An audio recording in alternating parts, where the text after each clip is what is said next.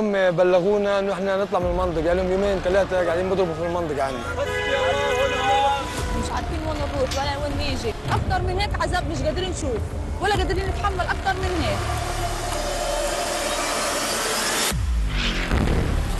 الغارات ربما هي الأعنف منذ بدأت الحرب الإسرائيلية على غزة. روحان وتعالى روحان روحان كل يوم نازحين كل ساعة بننزح كل ساعة بننزح وينهم؟ وينهم؟ وينهم أشوف حدا من أولادهم هنا؟ زي زينا.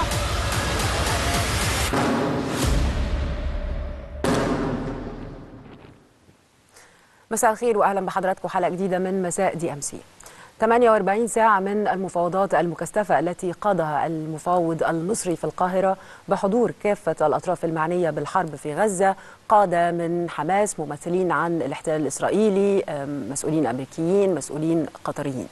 عمل الوفد الأمني المصري بقوة لتقريب وجهات النظر ما بين الطرفين ولإيجاد صيغة توافقية حول بعض النقاط المختلف عليها. خلال ال 48 ساعة الماضية كانت كل الأمال معلقة بهذا الاتفاق اتفاق على الهدنة في غزة التي دخلت العمليات العسكرية فيها يومها ال 216 بل وامتدت إلى مدينة رفح الفلسطينية. هذه المدينة التي كان يسكنها حوالي 190 ألف نسمة قبل السابع من أكتوبر أي قبل الحرب. أما اليوم أصبحت هذه المدينة ملجأ لأكثر من مليون ونصف مليون نازح. وباتت هذه المدينة هي الفرصة الأخيرة للنجاة من نيران الاحتلال. يمكن آخر التطورات الخاصة بهذه الهدنة زي ما قلت اللي كانت الأمل الباقي لسكان وأهالي مدينة غزة ما جاء في قناة القاهرة الإخبارية وده نقلا عن مصدر رفيع المستوى بمغادرة الوفود المشاركة في محادثات القاهرة للتشاور في ظل استمرار بعض النقاط الخلافية التي لم تحسم بعد. المصدر أكد أن الجهود المصرية وجهود الوسطاء مستمرة في تقريب وجهات نظر الطرفين خاصة في ظل التطورات الأخيرة داخل القطاع. وحذرت مصر المشاركين بالمفاوضات من خطورة التصعيد. حال فشلت هذه المفاوضات للوصول إلى اتفاق هدنة. حركة حماس من جانبها أكدت التزامها وتمسكها بالموافقة على الورقة التي قدمها الوسطاء في مفاوضات الهدنة. مؤكدة أن إقدام الاحتلال الإسرائيلي على اجتياح رفح الفلسطينية وعلى احتلال المعبر يهدف إلى قطع الطريق على جهود الوسطاء. أما الجانب الإسرائيلي حتى اللحظة لم يصدر عنه أي مواقف أو تصريحات رسمية بشأن هذه المفاوضات وبالتأكيد أنه لما نتحدث عن دور المفاوض المصري أو هذا الدور اللي بتقوم به مصر هو ليس وليد هذه الحرب الأخيرة. دور مصر في فكرة التفاوض أو أنها تكون وسيط ما بين حركة حماس وما بين الاحتلال الإسرائيلي هو دور يمكن يكون تاريخي لأنه له علاقة بمدى وامتداد الصراع العربي الإسرائيلي لأنه مصر بالفعل ساهمت أكثر من مرة في الوصول إلى حقن دماء الفلسطينيين وإلى وقف الحروب الإسرائيلية المتكررة على القطاع. هذا الدور المصري يمكن ظهر جليا في عام 2008 بما كان يعرف وقتها بعملية الرصاص المصبوب العملية دي استمرت 21 يوم وأدت إلى استشهاد أكثر من 2000 فلسطيني. وقتها يمكن مصر بذلت جهود كبيرة مع كل الأطراف عشان تمنع انفجار الموقف وإنها تصل إلى اتفاق لوقف إطلاق النار. أيضا في 2012 مصر كان ليها حضور قوي خلال عملية عمود السحاب. هذه العملية استمرت 8 أيام وأدت لاستشهاد حوالي 180 فلسطيني ومقتل 20 إسرائيلي. وأيضا نجحت في هذا الوقت القاهرة في التوصل لهدنة ما بين الطرفين. في العام 2014 عرفت وقتها الحرب على غزة باسم الجرف الصامد واستمرت ل 51 يوم وأسفرت عن استشهاد حوالي 2322 شهيد و11 ألف جريح وأيضا مصر نجحت في وقف إطلاق النار وبعديها عقد الرئيس السيسي مؤتمر لإعادة إعمار غزة وفي هذا المؤتمر تم تقديم 4.5 مليار دولار لمساعدة غزة ولمساعدة الفلسطينيين ولإعادة إعمار ما الاحتلال في هذا الوقت. في مايو 2021 شنت إسرائيل عملية حارس الأسوار. هذه العملية أسفرت برضو عن استشهاد 240 شهيد وحوالي 5000 جريح. عملية استمرت لمدة 11 يوم وبعدين تمكنت مصر عن طريق الاتفاقات وعن طريق الوساطة أنها تنهي هذا العدوان الإسرائيلي على غزة. كمان في أغسطس 2022 كان في عملية عرفت بالفجر الصادق. هذه العملية كانت بتستهدف قادة الفصائل الفلسطينية وكانت هتؤدي إلى أزمة كبيرة جدا. آه، كان في إطلاق نار لم يتوقف على مدى ثلاث أيام. كان في عدد كبير من الشهداء. كانت العملية دي آه، بتبدو آه، في الأيام الأولى أنها هتستمر بشكل كبير لكن مصر تدخلت وبالفعل قدرت أنها تحتوي الأزمة وتوصلوا إلى وقف إطلاق آه، النار. أيضا مصر آه، آه، لعبت دور كبير في هذه الأثناء في الإفراج عن الكثير من آه، الأسرى لدى الجانب الإسرائيلي. اذا الدور المصري فيما يخص المفاوضات وإنها تكون وسيط في هذه الأزمات التي يعني بتنشب وتستمر كل فترة.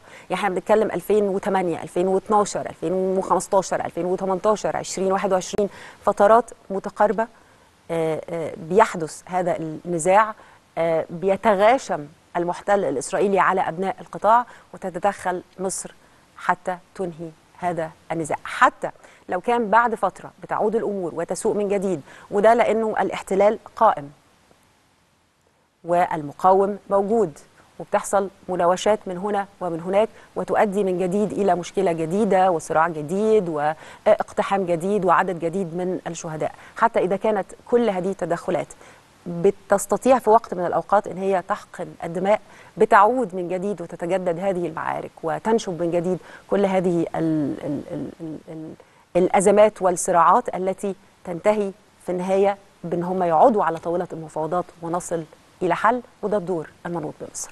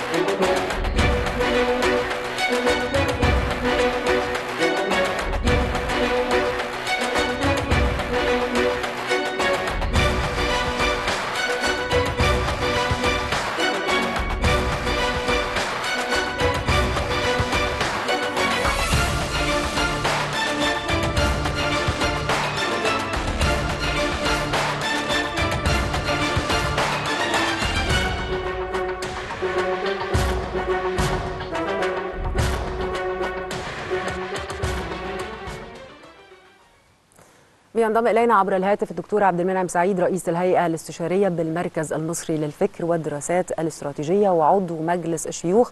أهلا بحضرتك يا دكتور. أهلا وسهلا مرحبا.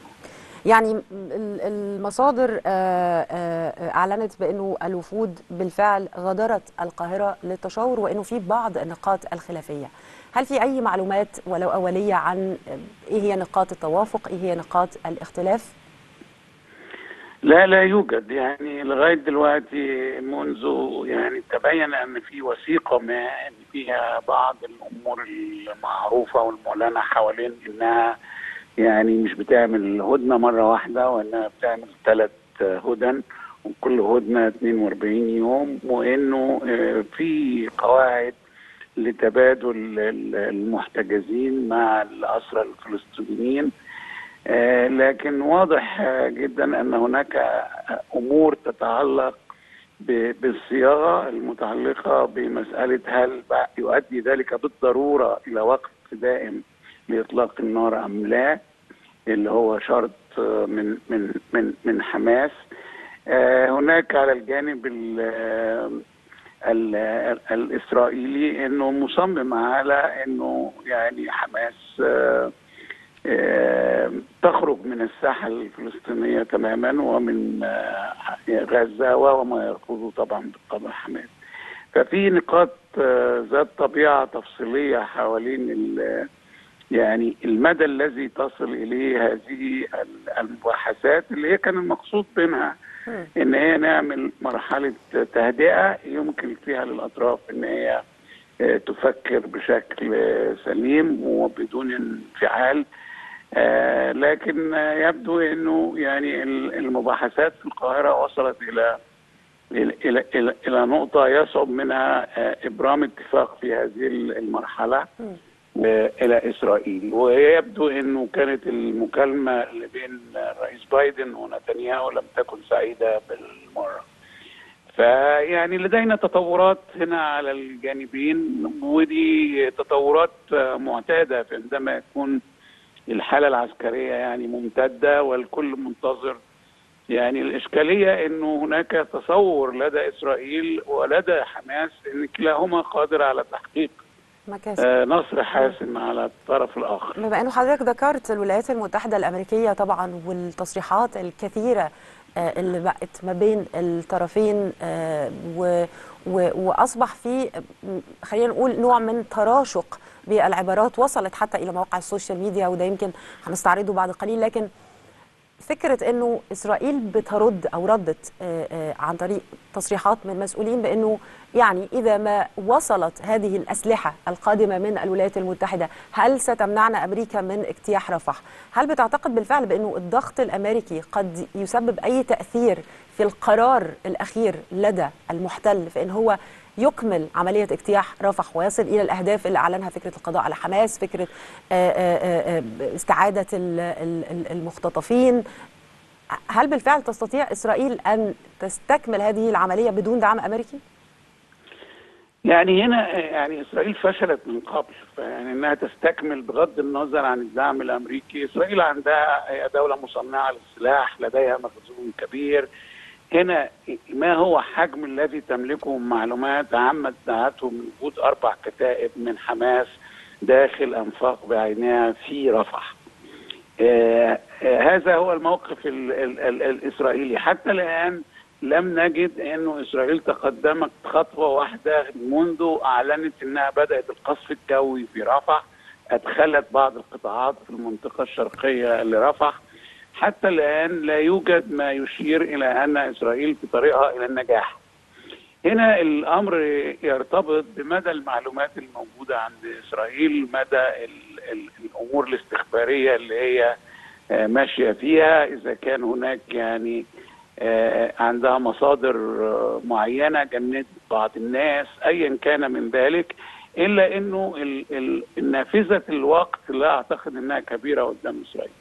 يعني إذا كان هناك أمر يمكن إنهاؤه خلال يعني يومين أو ثلاثة ربما تستطيع أنها يعني زي ما بيقولوا آه، تمر آه، ب- بسلام بينها وبين أمريكا. لكن لو طال الأمر وخاصة بعد الازدحام الشديد في المنطقة الغربية لرفح أصبحت يعني مشاهد الأزمة الإنسانية آه، رهيبة.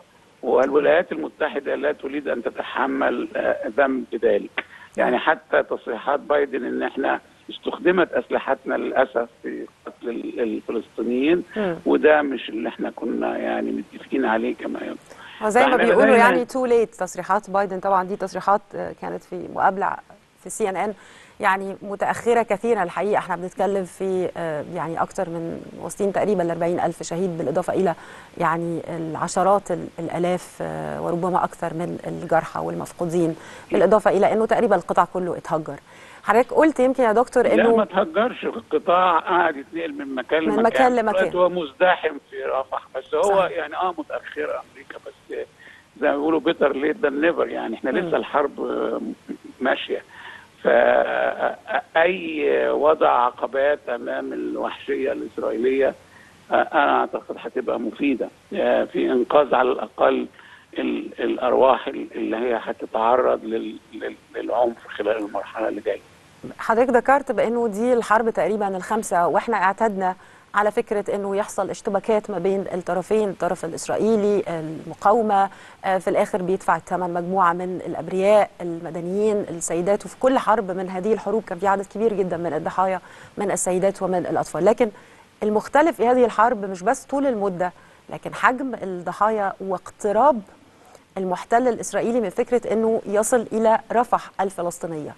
هل بتعتقد إنه إذا ما تمادى في فكرة عملية الاجتياح وعملية تصفية ال- ال- ال- المدينة أو إحداث هذه الت- التغييرات آه، الديموغرافية زي ما عمل في شرق آه، وجنوب وشمال آه، القطاع هل بتعتقد إنه اثارها هذه ال- المرة هتكون مختلفة عن المرات السابقة؟ يعني كل شيء مختلف وكل شيء مشابه إذا خدنا درجة من التجريد على يعني انه كل التفاح والبرتقال ثمرة إنما لو هناك فروق بينهم. ال- المسرح العمليات آه، في في في هذه المرة جاي تحت قيود أكبر من اللي بدأت بها الحرب. يعني العالم الآن يعني يمسك بعدسات مكبرة بما فيها الرأي العام ال- ال- الأمريكي والأوروبي. وإنه ال- ال- السخط أيضا ده بيولد آه، يعني معسكرات سياسية داخل إسرائيل نفسها. يعني آه، حتى الآن كان نسبة الالتفاف حوالين نتنياهو عالية جدا. إنما مع يعني الفجوة المتزايدة مع الولايات المتحدة الأمريكية ده أمر يعرف كثير من الإسرائيليين إنه أمر حيوي يعني جزء من المبادئ الاستراتيجية الأساسية للدولة الإسرائيلية أن تكون على علاقة حلف قوي مع دولة كبرى سواء كانت بريطانيا في وقت من الأوقات أو الولايات المتحدة فيما بعد. فإحنا هنا أمر يؤدي إلى إلى إلى مناظرات كثيرة داخل إسرائيل خاصة وأنا أتوقع وأعتقد ذلك ما يخشاه الامريكيون أيضا أن توغل إسرائيل في حماء في في رفح و- وسقوط ضحايا مدنيين بشكل كثيف أنا أعتقد هيفعل بشكل كبير الجبهة اللبنانية. الجبهة اللبنانية آه، بالفعل آه، ساخنة آه، لكن إمكانيات التصعيد فيها كبيرة وإسرائيل بدأت يعني يبقى درجه الحماقة الاستراتيجية كبيرة. يعني كلامهم مع بايدن إن إحنا سوف نحارب حتى لا بأظافرنا وإنه إنهم على استعداد يحاربوا على أكثر من جبهة. يعني آه، أمر يعني آه، يتنافى مع كثير من الدروس إنه أي أي استراتيجية صحيحة لابد إن هي بتركز على جبهة واحدة بتركز على عدو بشكل واحد. كيربي اللي هو المتحدث الرسمي عن الولايات المتحدة ال- ال- الاستراتيجي آه، تحدث على إنه أمريكا عرضت على إسرائيل خطط أخرى. يعني لا تمس المدنيين أو تقلل من الخسائر المدنية لتحقق نفس الهدف وهو لأنه بالنسبة للولايات المتحدة حماس منظمة إرهابية آه، وكذلك لكثير من الدول ال- ال- الأوروبية. يعني ليست مسجلة كمنظمة مقاومة وإنه إذا كان هناك منظمة مقاومة هي منظمة التحرير الفلسطيني. آه، آه، فهنا يعني الموضوعات دي فيها كثير من الالتباس لكن ما يشير إليه إنه ابتدى درجة زي ما قل- قلت الحماقه الاستراتيجية الإسرائيلية ابتدت تزيد قوي آه، وإنه عملية التصحيح اللي يفترض إنها بتتم عن طريق المؤسسات الأمنية ال- الإسرائيلية اللي هي فيها الجيش القوات المسلحة ال- ال- ال- الموساد الشباب آه، الشباك اللي هي المنظمات اللي لها علاقة بالمخابرات وبالمعلومات. دي بيبقى عندها توجهات أكثر عقلانية من التوجهات السياسية اللي موجودة في مجلس الوزراء اللي بيبقى فيه نوع من المزايدة السياسية من قبل أحزاب ومن قبل أفراد. آه، حتى الآن يعني آه، كانت هذه المؤسسة الأمنية هي التي يعني أشارت إلى فكرة إمكانية التوصل إلى اتفاق. آه، لكن بعد أن وافقت حماس على ال- الخطة الموضوعة آه، يعني وجدنا إنه يبدو نتنياهو يريد أن يحقق في نوع من السباق بينه وبين العناصر الأكثر تطرفا في مجلس وزرائه نعم. آه، الأمر الخاص بموضوع آه، رفح حتى لا تسقط الوزارة نعم بشكرك. شكرا جزيلا دكتور عبد المنعم سعيد رئيس الهيئة الاستشارية بالمركز المصري للفكر والدراسات الاستراتيجية وعضو مجلس الشيوخ. يمكن وإحنا بنتكلم آه، آه، في خبر آه، عاجل. قول يا مصطفى. الآليات العسكرية الإسرائيلية تطلق الرصاص والقذائف تجاه منازل المواطنين في المناطق الشرقية في رفح. اذا يعني وقصف شديد بالمدفعية إذا نعم. في شرق مدينة رفح. إذا الكيان الإسرائيلي المحتل الإسرائيلي بيواصل هذه العملية العسكرية التي بدأها تقريبا منذ أربعة أيام في آه، آه، رفح. وزي ما قلت أنه كان في أمال منعقد على فكرة أنه نصل إلى هدنة آه، نصل إلى اتفاق لأنه لازم الحرب هتنتهي. يعني أكيد مش هيفضل الوضع ده مستمر إلى الأبد أو إلى تحقيق إسرائيل أهداف يبدو أنها لن تتحقق.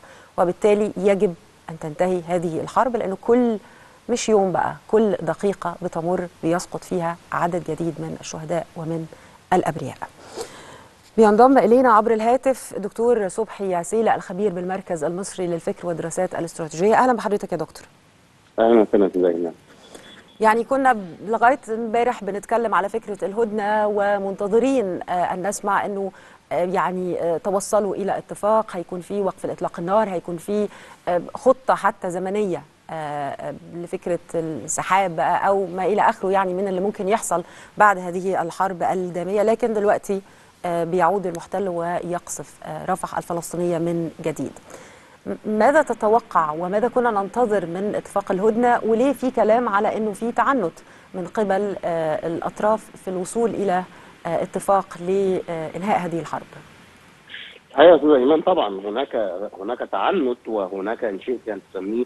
هناك تردد واضح من الطرفين من إسرائيل من حماس في التوقيع على اتفاق للتهدئة. يعني آه، ظنا منهم إنه كل حد يقدر يكسب 100% أو يكسب أكثر مما عرضوا عليهم آه، الاتفاق اللي وافقت عليه إسرائيل مبدئيا ثم عرض على حماس وتأخرت كثيرا في الرد عليه.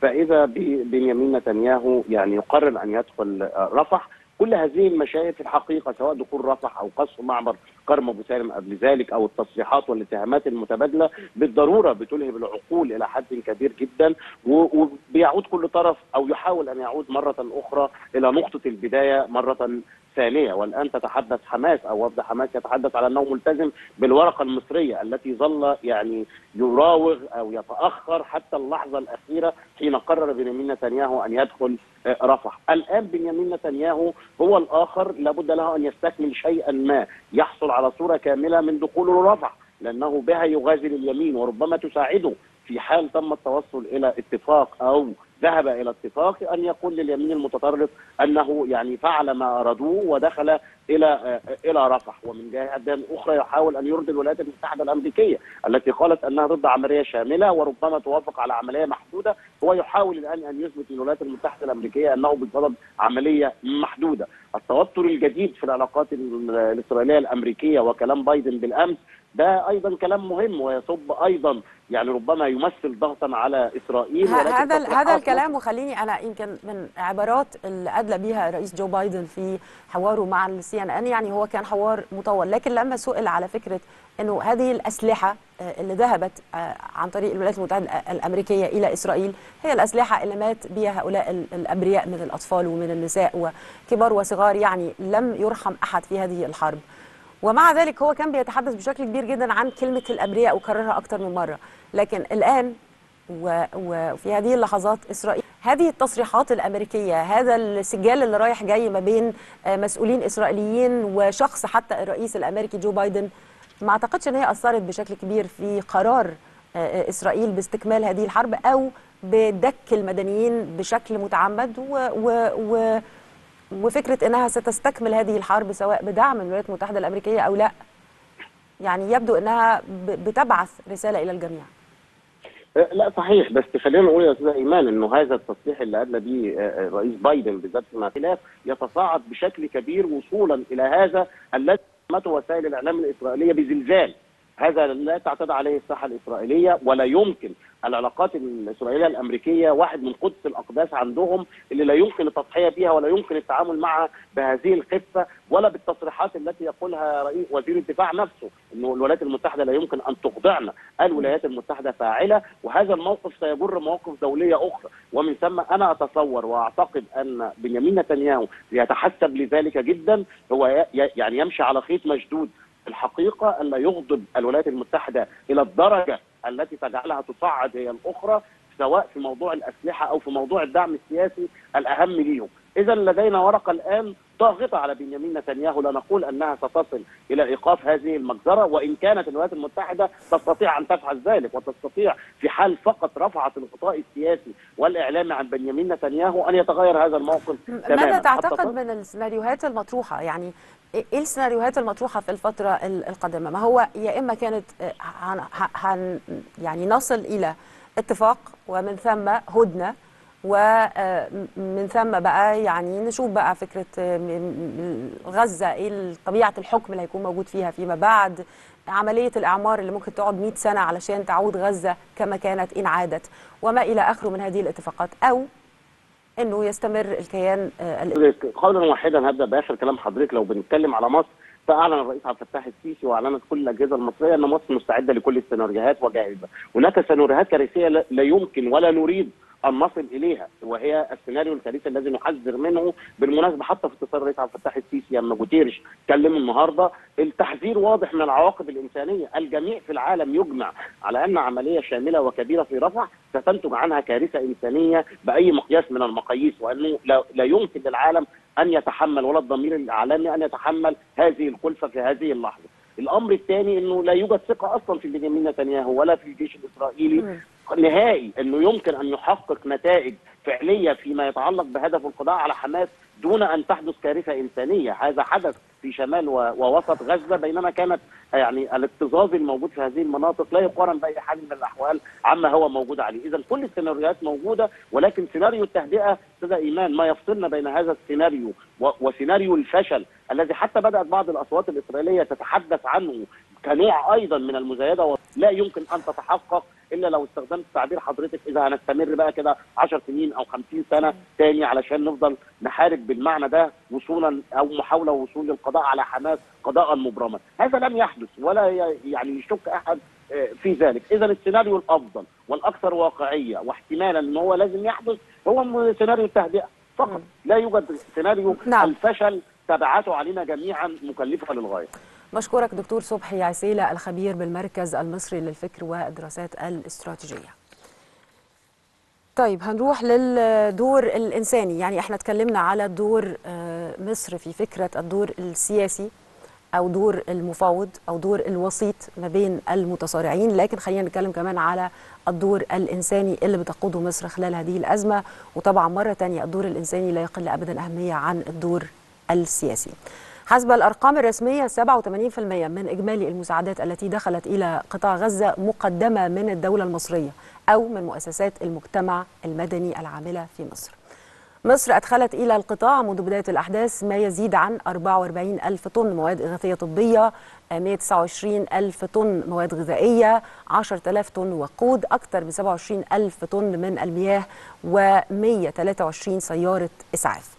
مصر أيضا استقبلت أكثر من 6000 من المصابين والمرافقين ليهم والحالات الإنسانية وده منذ بداية العدوان على القطاع وده زي ما قلنا امبارح للعلاج في المستشفيات المصرية اللي كل المستشفيات بلا استثناء فتحت أبوابها أمام المصابين وأهاليهم وقدمت كل الخدمات آه، الطبية والعلاجية المختلفة. ده بالإضافة إلى أكثر من 66 ألف من الرعايا الأجانب ومزدوجي الجنسية اللي تم تسهيل دخولهم إلى مصر عبر معبر رفح. بينضم إلينا عبر الهاتف الكاتب الصحفي أكرم القصاص رئيس مجلس إدارة اليوم السابع. أهلا بحضرتك. أهلا بيكي. أهلا وسهلا. أه وإحنا بنتكلم يمكن على الدور أه اللي لعبته مصر سواء على الصعيد السياسي أو الصعيد الإنساني في هذه الأزمة الصراع الاقليمي كمان بتتمسك بضبط النفس لأقصى درجة لأنه مصر لديها قدرات هائلة لو دخلت في هذا الأمور وبتستبعد دائما السيناريوهات الأسوأ لأنه لا أحد يستطيع أن يتوقع شكل السيناريو الأسوأ في حال تحقق. ف- ف- فالحقيقة إنه زي ما إحنا بنقول على خيط مشدود الجزء الخاص باستمرار المساعدات ده جزء مهم جدا سواء التحالف الوطني للعمل الاهلي أو سواء الهلال الأحمر المصري أو سواء المنظمات الرسمية والأهلية لأنه نسبه الأكبر من المساعدات دخلت من مصر بالإضافة إلى استقبال أعداد كبيرة جدا من الجرحى وذويهم آه، للعلاج في مصر، ومصر حريصة على فتح المعابر بشكل دائم وبتنتقد أي قوة تحاول تعطيل هذه المعابر، إسرائيل ارتكبت أخطاء إنسانية أمام محكمة العدل الدولية ده مطروح. وصل لإنها تغلق المعابر لدرجة إن الولايات المتحدة حذرت من إنه استمرار إغلاق المعابر يؤدي إلى مشكلة كبيرة. فالمفاوضات الأخيرة الحقيقة مصر بذلت فيها جهود وكادت تنجح بالفعل لكن التطرف الإسرائيلي الحقيقة مؤخرا بالرغم من حماس اقعت بعض الشيء أو تأخرت في إعلان ردها لكن أعلنت الرد وقبلت وطرحت أفكار على هذا الأمر. الأمريكان نفسهم قالوا إنه حماس طلب التعديلات والولايات المتحدة ردت على هذا الأمر بالشكل اللي يناسب كل الأطراف وده كان بفضل الجهد المصري البيت الأبيض شايف إنه المحادثات كانت بتسير بشكل جيد وإنه آه، في مقترحات منفتحة حماس نفسها منفتحة على إنجاح الجهد المصري والقاهرة كمان حذرت بشكل واضح وده نعم. جزء بالمناسبة من الموقف الأمريكي ومتاخد من إنه مصر معاها مفاتيح ومعاها معلومات واضحة وتقاريرها دقيقة جدا إنها بتحذر الولايات المتحدة من هذا الأمر وأمريكا مستوعبة هذا الأمر بشكل كبير في الفترات الأخيرة أصبح رد الفعل الأمريكي واضح. ليس طبعا بالتأكيد في جزء سياسي وفي جزء انتخابي لكن الحقيقة إن الموقف المصري كان حريص جدا.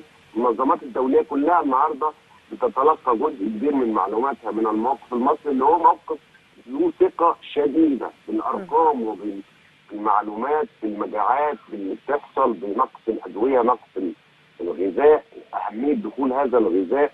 نعم. الحروب اللي بتاخدها الدولة المصرية حروب ليست مسبوقة الحقيقة وتتخطى وتتجاوز بالإضافة لحروب مع أكاذيب إسرائيل على مدى شهور الحقيقة كمان. آه، و- وتطرف الأطراف المختلفة في حرب دعاية شديدة الخطورة والأطراف المختلفة بتحاول تكسب أرض لكن الحقيقة طيب. من يخسر هنا هم الفلسطينيون. يعني يعني مصر بتخوض ال ال هذه الحروب فكرة إنها الوسيط ال- سياسيا يعني هي الوسيط ما بين كافة الأطراف هي اللي بيعود إليها ال- الجميع لأن هي بحكم التاريخ وبحكم الجغرافيا وبحكم المركز السياسي آه، هي آه، عامل أساسي آه، في هذه القضية.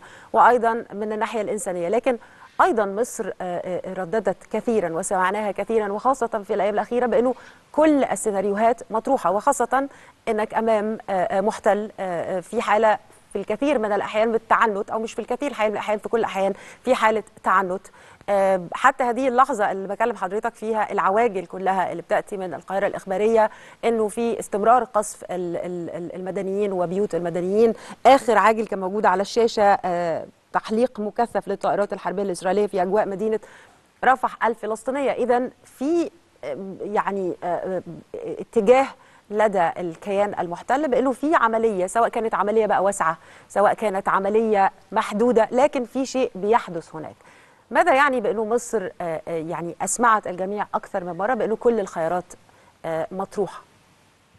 طبعا كلامك مظبوط جدا فيما يتعلق بمناورات إسرائيل. دي بنسميها مناورات إسرائيل. اولا هي إسرائيل لم تنفذ عملية اجتياح كاملة ربما لارضاء الأمريكان وأنه أمريكا بالتأكيد رأيها مؤثر بالنسبة لاسرائيل ولكن بالفعل هي بتنفذ عمليات كان يفترض الا تتم لأنه آه، آه، حماس اما ردت بقبول الاتفاقية الاتفاق كان يمكن إنهاء هذا الأمر آه، آه، نتنياهو بيلعب بالنار بشكل حقيقي لأنه النهارده بيتعرض لضغوط من أهالي المحتجزين بالإضافة إلى إنه استحالة أو صعوبه إنه إسرائيل تستمر في هذه الطوارئ واستدعاء الاحتياط في زمن لم يحدث في أي وقت.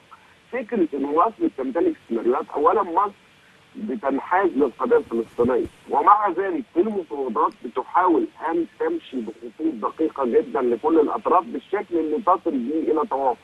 الامر الآخر هو إنه كل ما يحدث جانب مصر جربت الحرب وجربت السلام وبتتمسك لاقصى درجة بالسلام طالما كان بعيدا عن تهديد امنها القومي لأنه في حالة اختراق اتفاقيات السلام أو تهديد الأمن القومي ال- السيناريوهات مطروحة ومصر الأمر هيبقى مختلف. هذا الصراع أو هذا الصدام ان حدث وهو السيناريو الاسوء سيكون كارثي على إسرائيل وعلى المنطقة. نعم. دي نقطة، النقطة الثانية والأهم هنا هو إنه إسرائيل للحقيقة برضه كل التصريحات اللي بتطلع تحاول تجاوز هذا الأمر. إنها لم تخترق اتفاقيات السلام لم تدخل في كذا.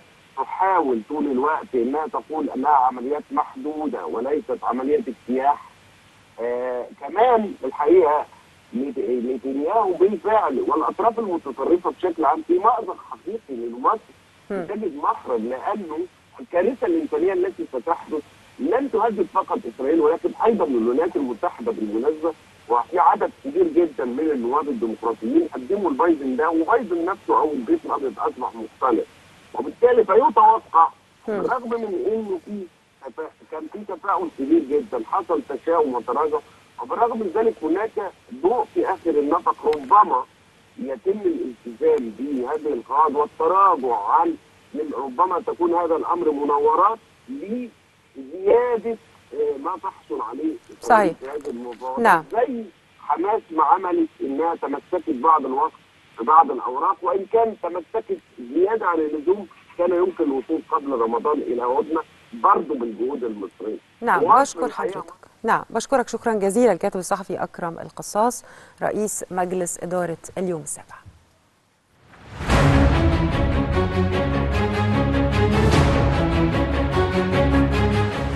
القيادة السياسية والرئيس السيسي كان دايما من أول الأزمة من أول الحرب ما ابتدت آه، مع فلسطين وأهالينا وما أنا مش شايف إن مصر أثرت في أي شيء. أنا شايف إن دور الرئيس عبد الفتاح السيسي دور ممتاز جدا. في دعم كبير بصراحة وإن هم بيدخلوا مساعدات كتير سواء كان جوي أو بري وإن هو بيدخل عربيات وبنشوف كده كتير. وإن هو بيحاول يساعدهم على قد ما بيقدر وأنا شايف إن ده إنجاز كبير.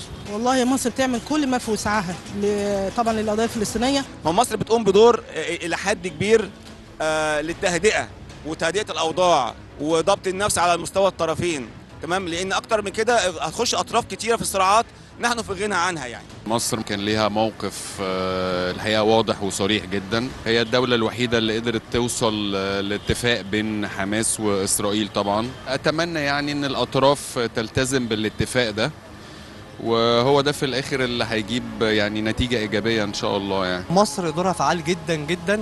بدليل آه، الهدنة اللي ما حدش عارف يعملها غير مصر ما بين إسرا... حماس. وإسرائيل. أنا شايفة بصراحة إن مصر بتدعم بأوقات كتير خصوصا إنها فتحت معبر رفح لكتير من الناس اللي موجودين فيه وفتحت المستشفيات علشان الناس اللي مش عارفين يتعالجوا في- موجودين في المعبر. أبرز طرق الدعم اللي هي المساعدات اللي هو إحنا فاتحين البوابة اصل أنا كان جيشي هناك إن هم فاتحين البوابة والكلام ده أنا شفته بعيني. قد إيه الناس بتتعب قد إيه ممكن يقفوا 12 ساعة و13 ساعة قبل ما العربيات تعدي. الحاجات دي اللي أنا شفتها بعيني بتساعد وفتح المعابر ومساعدات ومفاوضات. متبنين القضية نقول لك من 48 يعني إحنا مش مقصرين في حاجة. بس في دول معينة عاوزة تدخلنا في اي في أي حرب مع أي حد. مصر قامت بدور كويس جدا بالنسبة إن هي ساعدت فلسطين. آه ساعدناهم. اقتصاديا ساعدناهم. بس هو حماس برضو آه عندها طريقة مش مظبوطة. لأن حماس عايزة هي تنفرد بالقرارات وتنفرد بكل حاجة. مصر الوحيدة اللي بتساعد دلوقتي وبتنزل بالرغم ال- ال- ال- المعاناة اللي إحنا فيها إنما مش ننسى أهالينا في في فلسطين. ده دول أهالينا. كمصريين بنتمنى لشقائنا في فلسطين ربنا يحوش عنهم اللي هم فيه ولكن ده ما يكونش على حساب أمننا القومي. القيادة السياسية عارفة هي بتعمل إيه. إحنا أكتر شعب قدم شهداء كتير جدا للقضية الفلسطينية أكتر شعب قدمنا لهم دعم مادي ومعنوي بدم بكل حاجة قدمنا لهم. ولغاية دلوقتي لسه بنقدم وواقفين معاهم.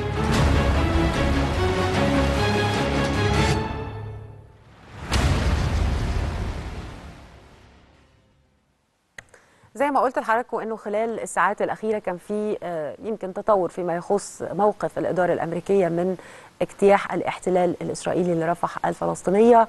والتصريحات الخاصة بالرئيس الأمريكي جو بايدن لشبكة السي إن إن اللي قال فيها حرفيا في اللقاء إنه الولايات المتحدة الأمريكية ستتوقف عن تسليم إسرائيل بعض أنواع الأسلحة خاصة أنواع محددة من القنابل والقذائف المدفعية إذا أمر رئيس الوزراء بنيامين نتنياهو باجتياح كبير لمدينة رفح الفلسطينية. طبعا هنا بيشير إلى القنابل آه، اللي آه، أمريكا أمدت بها الإحتلال الإسرائيلي اللي استخدمتها إسرائيل في بقى كل المجازر اللي حصلت كل البيوت اللي تهدمت آه، كل عدد ال- ال- اللي سقطوا شهداء ومصابين. كانت قذائف وقنابل أمريكية ومفترض إنه أمريكا على حسب التصريح اللي جه في حوار سي إن إن مع جو بايدن إنه أمريكا أوقفت إرسالها لإسرائيل مؤقتا. وقال كمان خلال آه، اللقاء لقد قتل مدنيون في غزة نتيجة تلك القنابل والطرق الأخرى التي يستهدفون بها المراكز السكنية. وكأنه جو بايدن بيتكلم على حد تاني يعني هو كأنه آه، بيحلل أو آه، بيحاول يقيم ما ذهبت إليه إسرائيل. وإحنا بنقول إنه ده كان أول رئيس أمريكي يذهب إلى إسرائيل وفي حرب. يعني في الأيام الأولى للحرب ذهب جو بايدن رئيس آه، آه، الولايات المتحدة الأمريكية إلى آه، تل أبيب وإلى إسرائيل وقدم كل الدعم الممكن إلى إسرائيل وقدم كل السلاح الممكن وقدم كل التصريحات الممكن وقدم كل الدعم المادي والمعنوي والسياسي الممكن إلى إسرائيل. لكن في هذا الحوار في اختلاف كبير في فكرة أنه وكأنه قاعد معنا بيقيم الوضع في غزة أو بيقيم ما قام به المحتل هناك. أيضا أضاف في هذا الحوار لقد أوضحت أنهم إذا ذهبوا إلى رفح فلن أقوم بتزويدهم بالأسلحة التي تم استخدامها تاريخيا للتعامل مع رفح وللتعامل مع المدن. فإذا بايدن في هذا الحوار بيؤكد وبشكل قاطع أنه أولا رافض للجرائم التي حدثت وبشكل صريح وواضح. ولأول مرة يضع في جملة مفيدة كلمة القنابل اللي زودنا بيها آه، إسرائيل في فكرة اللي استخدمت ل آه، آه، يعني استهداف المدن واستهداف الضحايا واستهداف المدنيين. واذا هو ده الربط الحقيقي ما بين فكرة إنه أمريكا متورطة في كل هذه الدماء وده على لسان بايدن من خلال الربط ما بين ادينا أسلحة أو قنابل استخدمتها إسرائيل قتل مدنيين. أيضا صحيفة وول ستريت جورنال الأمريكية قالت إنه نتنياهو دفع بايدن لحافة الخط الأحمر مع بدء عمليات رفح واعتبرت أن سلوك نتنياهو خلال الحرب دفع بايدن إلى اتخاذ قرار لم يكن يرغب فيه بإيقاف تصدير شحنات السلاح إلى إسرائيل ده الجانب أو التصريحات التي خرجت من الجانب الأمريكي وزي ما قلت على لسان أعلى سلطة هناك الرئيس الأمريكي آه، اللي خرج في هذا الحوار. وطبعا هذا الحوار لقى استياء كبير آه، في آه، إسرائيل. رئيس وزراء الاحتلال بنيامين نتنياهو رد على تهديد بايدن إذا اعتبروا يعني تهديد بالقول أن إسرائيل ستقف بمفردها إذا لزم الأمر. وده أول نوع من التراشق يمكن ده ما حصلش إلا يمكن قليلا أو يمكن ما حصلش خالص في تاريخ هذه العلاقة القوية والمستمرة والأبوية ما بين آه، الولايات المتحدة الأمريكية والكيان المحتل أن يحصل هذا التراشق وأنه تتحدى آه، إسرائيل إذا ما اعتبرنا يعني أن هذا التصريح أو إذا ما آه، قرئ كأنه تحدي إلى الجانب الأمريكي. أيضا سفير الكيان في الأمم المتحدة جلعاد أردن قال أنه تهديد بايدن بوقف امدادات أسلحة معينة إلى إسرائيل حال اجتياح رفح الفلسطينية أمر صعب للغاية. وتصريح مخيب للأمال إلى حد كبير يصدر عن الرئيس الذي أعربنا عن امتناننا له منذ بداية الحرب ومعروف طبعا يمتن لي منذ بداية هذه الحرب. واعتبر إنه هذا القرار سيعرقل بشكل كبير قدرة إسرائيل على تحقيق الأهداف العسكرية.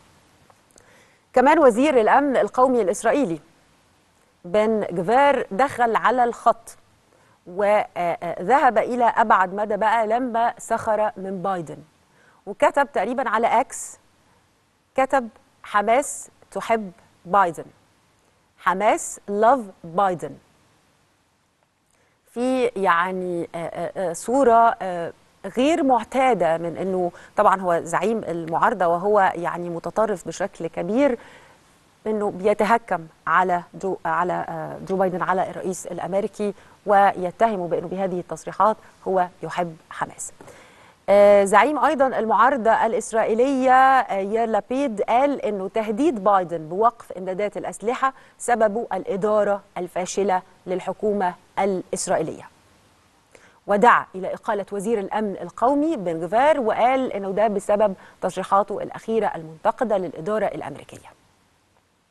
طبعا هعود وأذكر حضراتكم بأن الولايات المتحدة الأمريكية هي الداعم العسكري الأول لإسرائيل آه، مساعدات بتصل إلى آه، 3.8 مليار دولار آه، بتعطى إلى إسرائيل في شكل أسلحة في شكل أنظمة دفاع وده بشكل سنوي من 7 أكتوبر من بداية الحرب وحتى الآن أمريكا قدمت ما يقارب من 21 ألف ذخيرة موجهة إلى إسرائيل. تقريبا نص الكمية دي استخدمتها في غزة. ما بينها تقريبا 100 قنبلة خارقة للتحصينات عشرات الألاف من الأسلحة. المئات من الطائرات المقاتلة. وما زالت على فكرة رغم هذه التصريحات اللي أدلى بيها بايدن في تصريحات أخرى بتتحدث عن أنه آه، وقف التسليح هو مش وقف التسليح بشكل كامل. هو وقف التسليح فيما يخص الأسلحة اللي قد تستخدمها إسرائيل لضرب المدنيين. أما الأسلحة الدفاعية أو ما يعرف بالأسلحة الدفاعية فهي مستمرة بالفعل في آه، يعني إمداد آه، إسرائيل بها رغم كل شيء. طيب معايا على التليفون الأستاذ أحمد ناجي آه، قمحة رئيس تحرير مجلة السياسة الدولية. أهلا بحضرتك. زيمان أهلا وسهلا بحضرتك والساده المتابعين. أهلا بيك يا فندم. كيف تقرأ هذا التراشق ما بين الجانبين؟ وهل يمكن أن يؤخذ ده على محمل الجد بأنه فعلا في مشكلة ما ولو حتى يعني مشكلة تلاسنية ما بين الطرفين؟ آه، ولا إيه؟ طيب آه، مش مشكلة تلاسونيه إنما في مشكلة آه، المصالح. آه، الولايات المتحدة الأمريكية باتت اليوم تدرك أن مصالحها مع المنطقة العربية في أقصى لحظات الاختبار الحدي. بمعنى إن ال- الولايات المتحدة الأمريكية تجد ضغوطات مصرية سعودية إماراتية قطرية أردنية وشرح تفصيلي من كافة المعنيين بإدارة هذا الملف واتصالات هاتفية مع مستمرة مع الرئيس عبد الفتاح السيسي آه، واتصالات مع الزعماء العرب جميعا وزيارة أخيرة للملك حسين إلى آه، آه، ال- الولايات المتحدة الأمريكية. كل ده بيوصلنا إلى يعني مرحلة تضع الولايات المتحدة في مأزق. كافة علاقاتها العربية وكافة مصالحها مع المنطقة العربية في كافة واستمرار هذا الدعم في كافة أخرى بس خلينا نكون واقعيين. الولايات المتحدة الأمريكية اعتادت منذ آه، اندلاع الأحداث على تصريحات دائما ما تنطلق آه، تعطي فيها الأمل أن تكون عادلة في التعامل مع هذه القضية.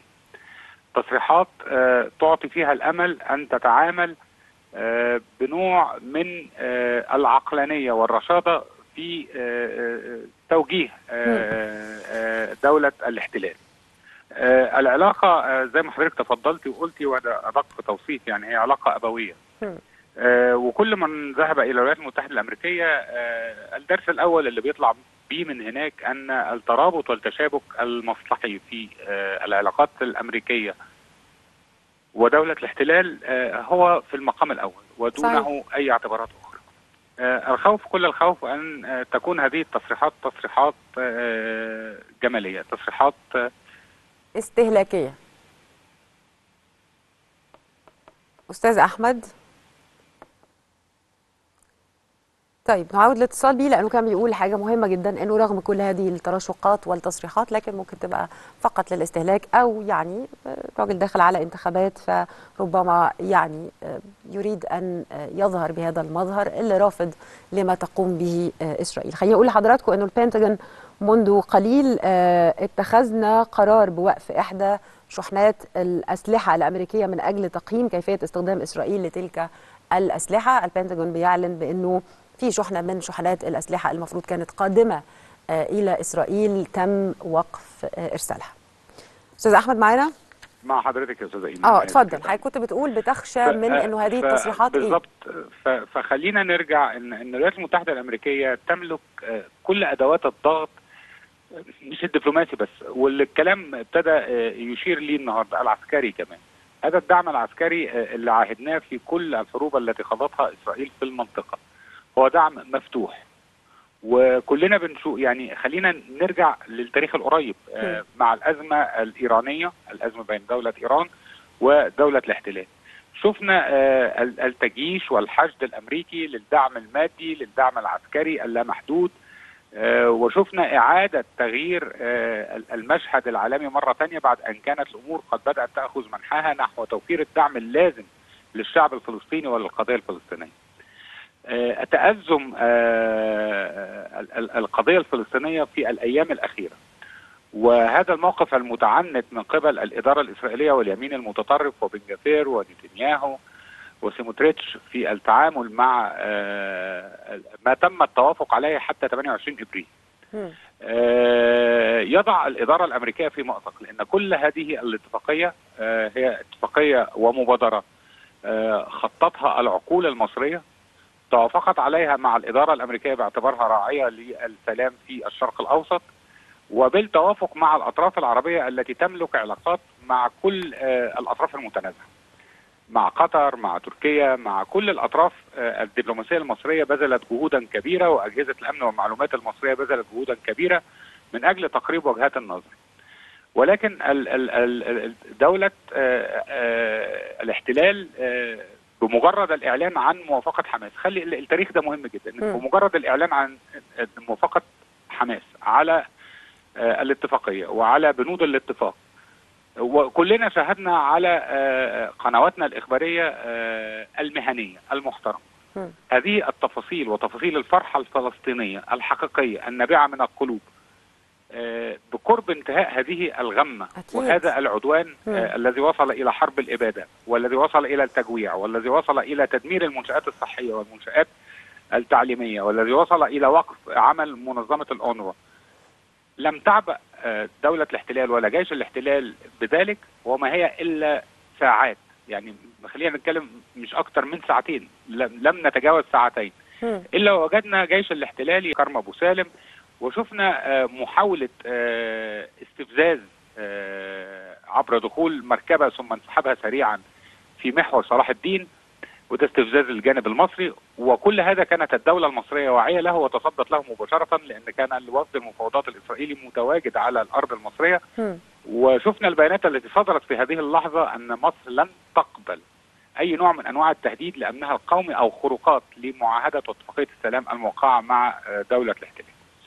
إحنا بنتعامل مع دولة لا تفهم إلا القوة. صحيح. بنتعامل مع دولة آه، لا تفهم إلا الضغوط الحقيقية. من يملك الضغط الحقيقي ومن يملك وقف آه، هذه آه، الحرب البربرية هي الولايات المتحدة الأمريكية إذا كانت هناك جدية في هذا الأمر غير معنيين بالحديث عن الأسلحة الهجومية والأسلحة الدفاعية نحن معنيين بوقف. التسليح الفوري صحيح. وقف الدعم وقف الدعم التي الضغوط الكثيرة كروت الضغط الكثيرة اللي بتمتلكها الولايات المتحدة الأمريكية ل يعني لتجعل إسرائيل تنصاع. لقراراتها أو ل يعني في ضغوط كثيرة الحقيقة قد تمارسها الولايات المتحده الامريكيه متوافق مع حضرتك في اللي انت بتقوليه واللي كلنا مدركينه واللي كلنا آه، متفهمينه آه، هذه أبعاد لم تعد تنطلي على آه، الوعي العام العربي وعلى الفهم المصري لصحيح مجريات الأمور في ملفات العلاقات الدولية وملفات العلاقات الإقليمية.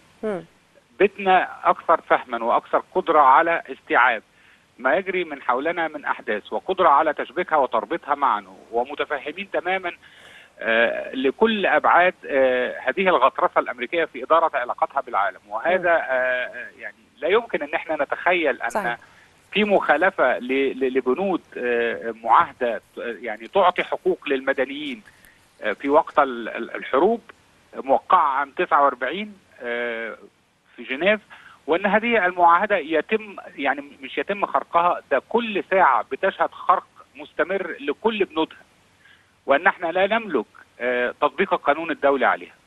لا يمكن إن إحنا آه، نغفل أن الحماية الأمريكية والفيتو الأمريكي الذي دائما ما يتصدر المشهد لحماية دولة الاحتلال هو عامل من عوامل توفير الحماية الكاملة لهذه الدولة. صحيح إذا كانت صحيح. جدية وبيعيق ف- أي جهود يعني ممكنه لحل هذه الأزمة. بشكرك طبعا. شكرا جزيلا. الأستاذ أحمد ناجي قمحه رئيس تحرير مجلة السياسة الدولية. الحقيقة عايزة أتكلم على آه، قناة القاهرة الإخبارية. خليني بس الأول أتكلم على فكرة إنه فكرة إنه يكون في مصر آه، قناة إخبارية آه، إقليمية دولية بتوجه رسائل للداخل ورسائل إقليمية ورسائل عالمية هو أمر بالغ الأهمية وفي نفس الوقت هو أمر بالغ الخطورة. هذه الخطوة يمكن تأخرت كثيرا يمكن طالبنا كثيرا على مدى السنوات آه، الماضية أنه لازم يكون في قناة بتوجه رسالة إعلامية لكن وهي بتوجه هذه الرسالة الإعلامية عينها مش بس على الداخل عينها أيضا على الخارج لأن هي قناة آه، آه، أخبار بتحمل اسم مصر وبالتالي أي كلام في هذه القناة هو كلام بيعبر عن السياسة المصرية بيعبر عن الاتجاهات المصرية بيعبر عن الرأي المصري في هذه القضية أو غيرها. علشان تعمل قناة أخبار عموما يعني في العالم كله في عدد من الشروط التي يجب توافرها علشان تحقق هذا المشروع. أول شرط أو أول شيء لازم يكون موجود وهو شيء مهم جدا جدا هو التمويل. لازم يكون في تمويل. قنوات الأخبار بتحتاج فلوس كتير جدا في التجهيز في الاستوديوهات في عدد المذيعين في آه، ديسك التحرير في عدد المراسلين اللي هيكون في كل حتة في التغطيات الإخبارية. فموضوع التمويل موضوع مهم جدا جدا. وتاني القنوات الإخبارية هي في الأول والآخر هي قنوات غير هادفة للربح. هي مش قناة هتعرض فيلم فيجي عليه إعلان. هي مش قناة هتعرض آه، برامج ترفيهية فممكن يدخل عليها إعلانات. هي في الآخر قناة بتقدم مادة بالنسبة لبعض المشاهدين مادة جافة أو مادة غير ترفيهية وبالتالي موضوع الإعلانات ما بيبقاش موضوع كبير قوي إلا تدخل بقى شركة مثلا شركة غاز شركة وطنية آم، ممكن بعض المستثمرين يحطوا دعايات أو إعلانات فيها فيبقى في شوية مصدر للتمويل. وبالتالي الدولة اللي بتقرر إن هي تعمل قناة أخبار لازم تبقى عارفة إن هي تدفع فلوس كتير علشان تقدر تمول القناة دي وتطلع قناة محترمة تليق باسم مصر وفي النهاية هي مش المفترض إنها تنتظر عائد مادي من هذه القناة. وده أول شيء توفر إلى قناة القاهرة الإخبارية يكون عندها هذا الدعم المادي وهذا الدعم المعنوي وده يمكن منذ إعطاء الرئيس أوامره بضرورة وجود قناة إخبارية مصرية تخاطب العالم أجمع. وبالفعل منذ هذا الوقت وحصلت القاهرة الإخبارية على دعم مادي ودعم معنوي كبير علشان تبتدي القناة. تاني حاجة مهمة في وجود آه، قناة أخبار هي المنافسة. لأنه حضرتك عندك عدد كبير من القنوات الإخبارية في قنوات بتعمل أكتر من 20 25 سنة فكونت قاعدة جماهيرية آه، كونت مصداقية كونت آه، سلسلة من المراسلين أو من المذيعين حتى اللي ارتبط بيهم الجمهور وبالتالي أنت داخل في منطقة فيها عدد كبير من القنوات الدولية والعربية وبالتالي أنت محتاج تعمل مجهود مضاعف. علشان تقدر تنافس. محتاج إن يكون عندك دايما تدفق للمعلومات ودقة أيضا وشفافية في طرح هذه المعلومات وفي آه، نقلها. محتاج يبقى عندك سبق في نشر هذه المعلومات. وده بالفعل اللي قدر يتحقق في القاهرة الإخبارية ويمكن في وقت قصير. يمكن ظهرت هذه القناة وبعدين ظهرت عدد كبير جدا من الأحداث الدولية والعالمية منها حرب آه، آه، غزة اللي ساعد بشكل كبير إنه عايز تعرف اتجاه الدولة إيه عايز تعرف السياسة التحريرية آه، آه، آه، المصرية الوطنية. لأنه لو قلنا مين أشهر قناة أخبار في العالم أشهر قناة أخبار والأكثر مشاهدة في العالم مفروض قناة البي بي سي. البي بي سي هي قناة بيملكها بريطانيا. يعني هي قناة في النهاية بريطانية أو بيملكها أو بيشارك في السياسة التحريرية أو بتمثل أو بتعبر عن بريطانيا. وبالتالي هذه القناة هي صوت مصر للعالم. مصر ماذا تريد أن تقول مصر للعالم في هذه القضية؟ آه، القاهرة الإخبارية. آه، ماذا آه، رد فعل مصر عن القضية الأخرى؟ آه، يظهر في هذه القناة لأن دي قناة أخبار هي قناة الرسائل الوطنية الإعلامية. طيب ثالث حاجة علشان يكون عندك قناة أخبار قوية هي الاستفادة من الكوادر والخبرات الإعلامية. ومصر يعني معظم القنوات الموجودة في العالم كله آه، اتبنت على آه، اكتاف المصريين. ودي يعني معلومة كل القنوات اللي إحنا بنشوفها وبنقول القناة دي حلوة قوي القناة دي ناجحة قوي هتلاقي فيها هنا مذيع مصري مشهور هنا رئيس التحرير مصري مشهور هنا المراسلين أو الناس اللي في ديسك التحرير مصريين وبالتالي مصر فيها كوادر إعلامية هايلة. استعانوا بالكوادر الإعلامية وموجودة النيل الأخبار وهي قناة مصرية فيها مجموعة من ال- المذيعين ال- الأخبار في الوطن العربي عندك التلفزيون المصري آه، عندك ال- الصحفيين ال- اللي كانوا بيشتغلوا في, في الأخبار على مدى سنوات طويلة رؤساء التحرير المحررين وبالتالي بدأت القاهرة الإخبارية إن هي يعني تجذب إليها عدد آه، محترم من المذيعين الموهوبين اللي اشتغلوا بالفعل في مجال الأخبار زي ما قلت في نيل الأخبار آه، في النايل تي في في التلفزيون المصري في قطاع الأخبار أو حتى استعانت بمراسلين أو مذيعين آه، آه، كفء بشكل كبير جدا جدا جدا من الوطن العربي. الحاجة الرابعة هي إنها بقى تبتدي تجذب جمهور جديد. الناس دلوقتي ما بقتش زي زمان فكرة إنه في ناس كانت مرتبطة قوي إنه الساعة 9 لازم تتفرج على نشرة 9 نشرة 9 دي مقدسة عند أجيال كثيرة. لكن الجيل الجديد ما بيستناش نشر التسعة بشكل كبير. ليه؟ لأنه يقدر يحصل على ما سيأتي في نشر التسعة من الساعة 4 من الساعة 3 عن طريق التطبيقات عن طريق ال live عن طريق ال social media عن طريق آه، إكس أو تويتر سابقا عن طريق آه، فيسبوك في مصادر كثيرة للمعرفة وللمعلومات غير إن أنت تقدر أو تقعد تستنى هذه المعلومة في البرنامج الفلاني أو في نشرة الأخبار الفلانية.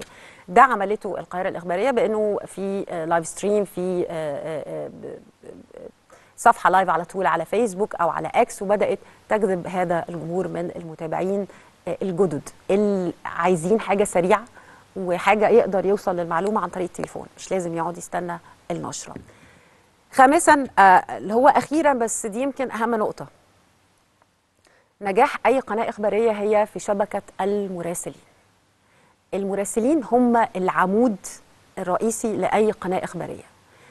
والمراسل ده حاجة مهمة جدا جدا جدا لأنه المراسل ده هو اللي على الأرض. على فكرة المراسل أهم من المذيع بكتير. المذيع في النهاية قاعد في الاستوديو آه، بيقول كلمتين أو بي بيقرأ كلمتين أو بيستضيف حد أو بيعمل مجهود ذهني بيحضر قبل ما بيجي أو حتى ما بيحضرش. لكن ال- المراسل اللي على الأرض هو اللي بيعمل كل حاجة. ده وان مان شو هو اللي بيعمل كل حاجة. هو اللي بيشوف هو رايح فين هو اللي بيصور. بيصور يعني بيختار مناطق التصوير. طبعا في زمايلنا المصورين كمان اللي بيعملوا مجهود كبير جدا جدا في التصوير الخارجي مع المراسلين. هو اللي بيكتب وهو اللي بيرجع يمنتج في الكثير والكثير من الأحوال المراسل هو اللي بيعمل كل حاجة من أول ما بتبقى فكرة لغاية ما بتطلع لحضرتك على الهواء وبالتالي القنوات الإخبارية الكبيرة بتعطي أهمية كبيرة جدا جدا جدا للمراسلين. لأن من غير مراسل شاطر مفيش قناة إخبارية. مش مفيش. أنت عندك يعني المشاهد بيرتبط ببعض المراسلين وبيحفظهم بأسمائهم وخاصة المراسلين اللي بيقعدوا على الهواء فترات طويلة. بيبقى عارفه يمكن أكتر من المذيع بيرتبط بيه أكتر من المذيع لأن هو عينه اللي بيشوف بيها الأحداث هو اللي بينقلك آه، في غزة في الضفة في تونس في عمان في القاهرة في هو عيننا حتى في البرنامج. هو المراسل هو العين اللي بنقدر بيها نطلع بره الاستوديو علشان نقدم لحضراتكم صورة مختلفة. طبعا أنا عايزة أقول إنه آه، القاهرة الإخبارية كانت موفقة بشكل كبير جدا جدا في اختيار الحقيقة كتيبة من المراسلين وخاصة زمايلنا الموجودين في الأراضي الفلسطينية آه، بشير بكر ولاء السلامين آه، منى عوكل آه، آه، زميلنا اللي متواجد تقريبا بشكل دائم أمام معبر آه، رفح مصطفى عبد الفتاح آه، أيمن عماد آه، زميلتنا من القدس آه، دنا أبو آه، شمسية آه، زميلنا كمان مصور القاهرة الإخبارية أحمد آه، فطيمة اللي استشهد في نوفمبر الماضي. عندنا كتيبة من المراسلين الحقيقة اللي بيستحقوا كل التحية. وال آه، ده صوره أحمد الله يرحمه صح؟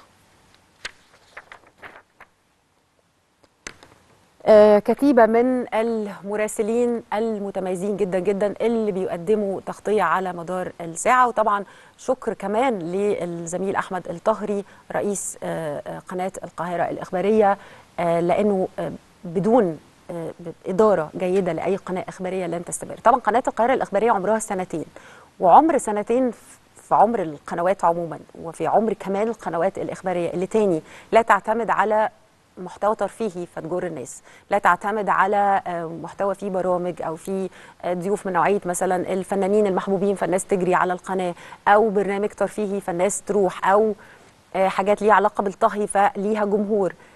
هي قناة زي ما قلت شوية بتقدم محتوى جاف وبالتالي في عمر سنتين إن هي تنجح إن هي تعمل قاعدة جماهيرية وتقدم الأخبار وتبقى مصدر موثوق بيه للأخبار فده الحقيقة جهد آه، يستحق التحية. من هنا يبدأ الخبر. نشهد الآن هذه الصورة دعينا نتابعها معا طفل شهيد تم نقله الآن. بدأت قوات الاحتلال الإسرائيلي باستهداف بعض المواقع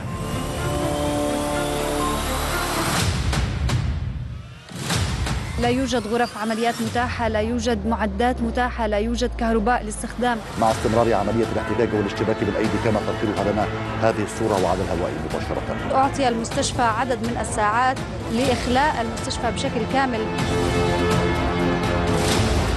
يتعرضون لإطلاق نار ولقذائف من الآلية الإسرائيلية العسكرية. الآن نسمع صوت قصف صوت انفجار. جديد. نعم. نعم وهو ليس في مكان بعيد. تنسيق لإرسال الأولوية من هذه المساعدات وإن كانت نعم. الأولوية كما نعلم للغذاء والدواء. الحافلات التي تخرج من السجن وتقل المحتجزات. بالنسبة لكولومبيا الاعتصامات ما زالت مستمرة. اصطحاب وقدوم عدد من الأسرى الإسرائيليين. استشهد أحد أطقمنا. وأصيب آخر بإصابات بالغة نستمر في الصمود أمام الكاميرات لننقل الحقيقة. القاهرة الإخبارية هي عاصمة الخبر. أيضا القناة الوثائقية عرضت عدد كبير من الأعمال اللي بتؤرخ للدور المصري وبتدعم القضية الفلسطينية. منها الفيلم اللي عر- عرض مؤخرا بعنوان فلسطين ما وراء النكبة وده بيوثق لجذور النكبة منذ العام 1948 والاحتلال الإسرائيلي لأرض فلسطين وتاريخ نشأة الحركة الصهيونية في آه، أوروبا. بينضم لينا عبر الهاتف الأستاذ شريف سعيد رئيس قطاع الإنتاج الوثائقي للشركة المتحدة للخدمات الإعلامية أهلا بحضرتك أهلا بيك يا. أهلا وسهلا خليني أقول إنه القناة الوثائقية ليها دور مهم جدا جدا في فكرة التوثيق وما أدراك بقى ما التوثيق في هذه الفترة آه، ونحن أمام يعني آه، كل هذا ال- ال- العنف وكل هذه المغالطات اللي بنسمعها في الكثير من الأحيان فيما يخص تاريخ القضية الفلسطينية. فكلمني على أهمية عرض هذا الفيلم ودور الوثائقية في هذه المرحلة. الحقيقة زي آه، ما ذكرتي وعطفا على كلامك آه، فيما يتعلق بفوضى المعلومات في إقليم صاخب خصوصا بعد أحداث آه، السابع من أكتوبر آه، لازم في إن القنوات الوثائقية أو القناة الوثائقية في الشركة المتحدة في النهاية آه، لازم تبقى مشتبكة مع ما مع الواقع ال- المعيش ليها. الصوت فيه مشكلة. شريف؟ آه. طيب. طيب ممكن نعيد الاتصال بيه مرة تانية لأن واضح أنه في مشكلة في السجن خلينا طب نشوف جزء بسيط من الفيلم الوثائقي لغاية ما نحضر التليفون. وصلنا ال- الجانب المصري. يعني صراحة وحقيقة كل واحد كان متوفر له إسعاف مسعف يعني خدمة فائقة و... وكل الاحترام لكم. مصر برجال الإسعاف المصريين قاموا بدور حيوي ودور إنساني ودور رئيسي جدا في إغاثة الأشقاء الفلسطينيين ومن قبلهم إغاثة الأشقاء السودانيين وبرضه في آه، إغاثة الأشقاء الليبيين الجيش المصري سواء الجيش الإسعافي أو الجيش الأبيض أو آه، جيش مصر اللي دايما آه، موجود في كافة الأحداث بيقوم بدوره على كافة المستويات وده دور الدولة المصرية في كل وقت وفي كل زمان. شاركنا في أحداث غزة بأكبر عدد سيارات كنا على مدار ال 24 ساعة متواجدين داخل معبر رفح. شلنا عدد كتير من المصابين والجرحى الفلسطينيين وكنا بنحولهم لمستشفيات في القاهرة أو مستشفى العريش العام. هنخرج إلى فاصل وبعد الفاصل هستقبل آه، آه، ضيوفي دكتور محمود مسلم رئيس لجنة الثقافة والسياحة والإعلام بمجلس الشيوخ ودكتور محمد كمال أستاذ العلوم السياسية بجامعة القاهرة وعضو الهيئة الاستشارية بالمركز المصري للفكر والدراسات. هيكونوا معانا بعد قليل لاستكمال طرح آه، سيناريوهات آه، ما يحدث في منطقة الشرق الأوسط وبالتحديد الصراع آه، الذي يحدث في رفح الفلسطينية واستمرار القصف والسيناريوهات المطروحة بعد ما وصلت إليه المفاوضات في القاهرة.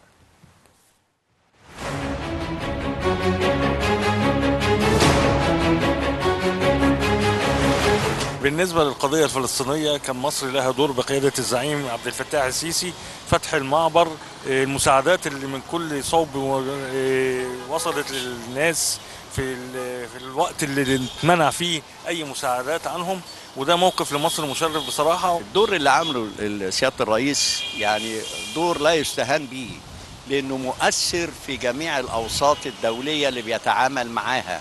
إذا كان على المجتمع أو المحيط القاري بتاعنا يكفي انه واقف قدام الخلفية اللي ورا إسرائيل اللي هي معروفة إنها أمريكا. مش همه حاجة لأنه راجل قوي لأنه راجل مؤمن بالقضية اللي بي- بيتكلم عنها أو بيدافع عنها. الرئيس عبد الفتاح السيسي على أعلى مستوى كاملة من من المجهود الجبار وكل يوم في مفاوضات هنا في القاهرة ما بين حماس ما بين المخابرات الإسرائيلية ومصر. فالموضوع مش فيش سكوت يعني. أنا شايف إن مصر قامت دور كويس جدا في القضية الفلسطينية. آه، وإحنا مهتمين يعني بالقضية الفلسطينية من زمان مش من النهارده.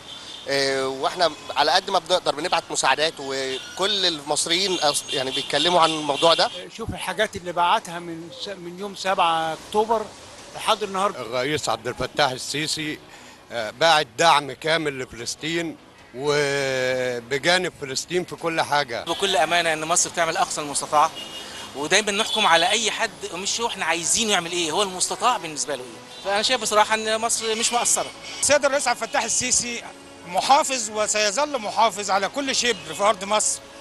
وإحنا ما إحنا ضد التهجير والفلسطينيين إخواننا وإحنا بندعمهم. شايف إن الرئيس عبد الفتاح السيسي بيقوم بالدور اللي هو يقدر يقوم بيه على قد ما يقدر في ظل الأزمات العالمية اللي موجودة. ومصر قايمة بدور قوي جدا. يعني.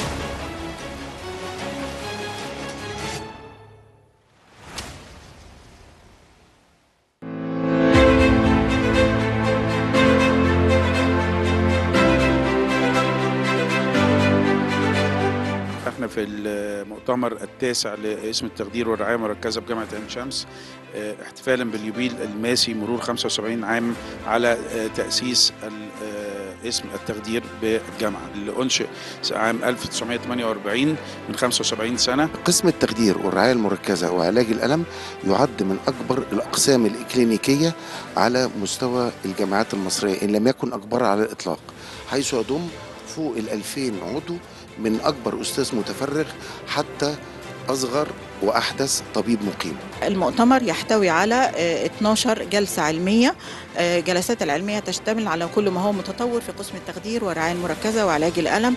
هناك جلسات علمية آه، للتخدير آه، آه، آه، كل ما هو متطور في تخدير آه، في تخدير الأطفال وتخدير جراحة القلب والصدر وتخدير وتخدير العظام وتخدير آه، المخ والأعصاب. وعندنا أكتر من 60 محاضر بيتكلموا في كل برانشات التخدير. وعندنا كمان ناس محاضرين من بره البلد على زوم على تقنية الزوم في عندنا ناس هيشاركوا معانا من إنجلترا من السعودية وفي من كندا. آه، دول كلهم أبناء الاسم اللي موجودين دلوقتي مشرفيننا بره وإن شاء الله يقولوا لنا كل جديد عن التخدير بيشرفنا طبعا مشاركة جامعات متميزة زي جامعة القاهرة كلية الطب العسكري جا- جامعة قناة السويس جامعة المنصورة جامعة أسيوط وجامعة اسكندرية. فطبعا بيشرفونا كلهم الاحتفالا باليوبيل الماسي لقسم التخدير في جامعة عين شمس. ويجب إن الكل يعلم إن قسم التخدير من الأقسام الهامة جدا في المستشفيات لأنه بيقوم بثلاث عمليات. اولا التخدير ثانيا الرعاية المركزة وثالثا علاج الآلام. وبدون التخدير لن تكون هناك أي تخصصات جراحية. مستشفيات جامعة عين شمس حاليا بيتم إنشاء مدينة عين شمس الطبية.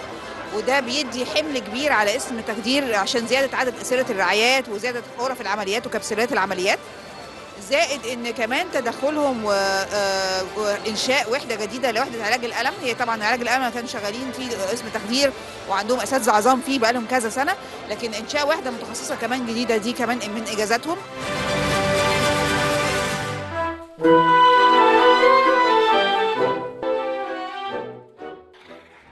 كنا نتوقع أن تسفر عنه نتائج مباحثات القاهرة. آه، اللي خرجت من أجل الوصول إلى وقف إطلاق النار في غزة ويمكن الساعات الأخيرة حتى يوم الأمس كان في آه، أمال كثيرة منعقدة على أنه هيكون في بعض التغيير هيبقى في آه، بنود للاتفاق هيكون في أي تغير في الموقف. لكن الحقيقة أنه المؤشرات آه، يعني بتشير إلى أنه في بعض التعنتات من الجانبين أو ربما من جانب آخر أدت إلى أنه هذه الم المفاوضات لم تصل إلى شيء حتى هذه اللحظة. برحب بضيوفي دكتور محمود مسلم رئيس لجنة الثقافة والسياحة والإعلام بمجلس الشيوخ. أهلا بحضرتك يا دكتور. برحب بالدكتور محمد كمال أستاذ العلوم السياسية بجامعة القاهرة وعضو الهيئة الاستشارية بالمركز المصري للفكر والدراسات. بيك. بحضرتك. طبعا إحنا بنتكلم من امبارح على هذه ال- القصة ويمكن التصريحات اللي خرجت من الجانب المصري إن المفاوضات يعني لم نصل إلى شيء معين. حماس اتهمت الجانب الإسرائيلي بإن هو اللي بيعرقل آه، يعني الوصول إلى اتفاق. أمريكا رسميا يعني لم تعلق. فكيف ترى هذه المباحثات اللي استمرت على مدى ثلاث أيام؟ يعني طبعا آه، خليني أقول إن يمكن أذكى حاجة عملتها حماس إن هي من يومين أو من ثلاث أيام بعتت رد على لأن كانت كل الاتهامات موجهة ليها ذاتا خاصة بعد عملية كرم أبو سالم معبر كرم أبو سالم. كان كل الاتهامات آه، موجهة لحماس إن هي اللي بتعرقل الموضوع. آه، إرسالها رد ووجودها في القاهرة أكد إن إسرائيل هي التي تعرقل الموضوع. نتنياهو مصمم على الاستمرار في الحرب. آه، الموقف الأمريكي وطبعا الدكتور محمد يتكلم عليه أحسن مني بكتير إنه بس في تردد. يعني أنا كل شوية بقرأ تصريح وكأن هناك آه، هو طبعا أكيد هو بيخاطب الناخب الأمريكي. هو يعني مش شاغل دماغه بينا شوية لكن بيخاطب. فشوية لما يلاقي المظاهرات يعني زادت في الجامعة فيبدأ يتكلم على إنه مش هيسمح لإسرائيل باجتياح رفح ولا هيسمح ل ببعض الأسلحة إن هي تروح إسرائيل. لما يلاقي ال- ال- اللوبي اليهودي شد حيله شوية يبدأ تاني يرجع إن أمريكا ضامنة لأمن إسرائيل وإحنا مش هنمنع الأسلحة كلها بس هنراجعها الأول. وإن العملية في رفح ممكن تبقى نسمح بعملية محدودة. يعني يعني كلام فيه توتر. الموقف المصري موقف آه، من 7 أكتوبر على ثلاث مسارات المسار السياسي المسار الدبلوماسي المسار ال- آه، الإنساني. ومصر قدمت في الفترة دي حاجات كتير جدا جدا للقضية الفلسطينية. آه والمفاوض المصري نجح إن في في حاجات. اولا في الهدنة الأولى وكان فيها صعوبات كتير جدا. ونجح إن هو يظبط بعض الأمور إن هم يجوا لكن هي المشكلة إن النوايا مش سالكة. طبعا في انعدام ثقة بين الطرفين بشكل كبير جدا. النوايا مش سالكة. آه، أنت برضو بتحارب مصالح الناس. يعني من مصلحة نتنياهو إن الحرب تستمر عشان يبقى على مقعده. فبالتالي هو آه لو بنشوف بنتابع كل ال- العراقيل وضعها أمام الوفود اللي بيبعتها. فالرهان كله الآن على الموقف الأمريكي والموقف الأوروبي. بنسمع منهم تصريحات آه، أحيانا بتبقى الموقف الأوروبي حتى تغير وأنا رأيي إن مصر ليها دور كبير في تغير الموقف الأوروبي و... و... و... وأبرز ممكن موقف باين قوي موقف فرنسا. فرنسا موقفها متغير عن الأسابيع الأولى لل... للحرب. آه لكن أوروبا برضو مش داخلة في التفاصيل لدرجة إن ما فيش طرف من أوروبا بيقعد في المفاوضات اللي بيقعد أمريكا ومصر وقطر. بالإضافة طبعا لإسرائيل وفلسطين.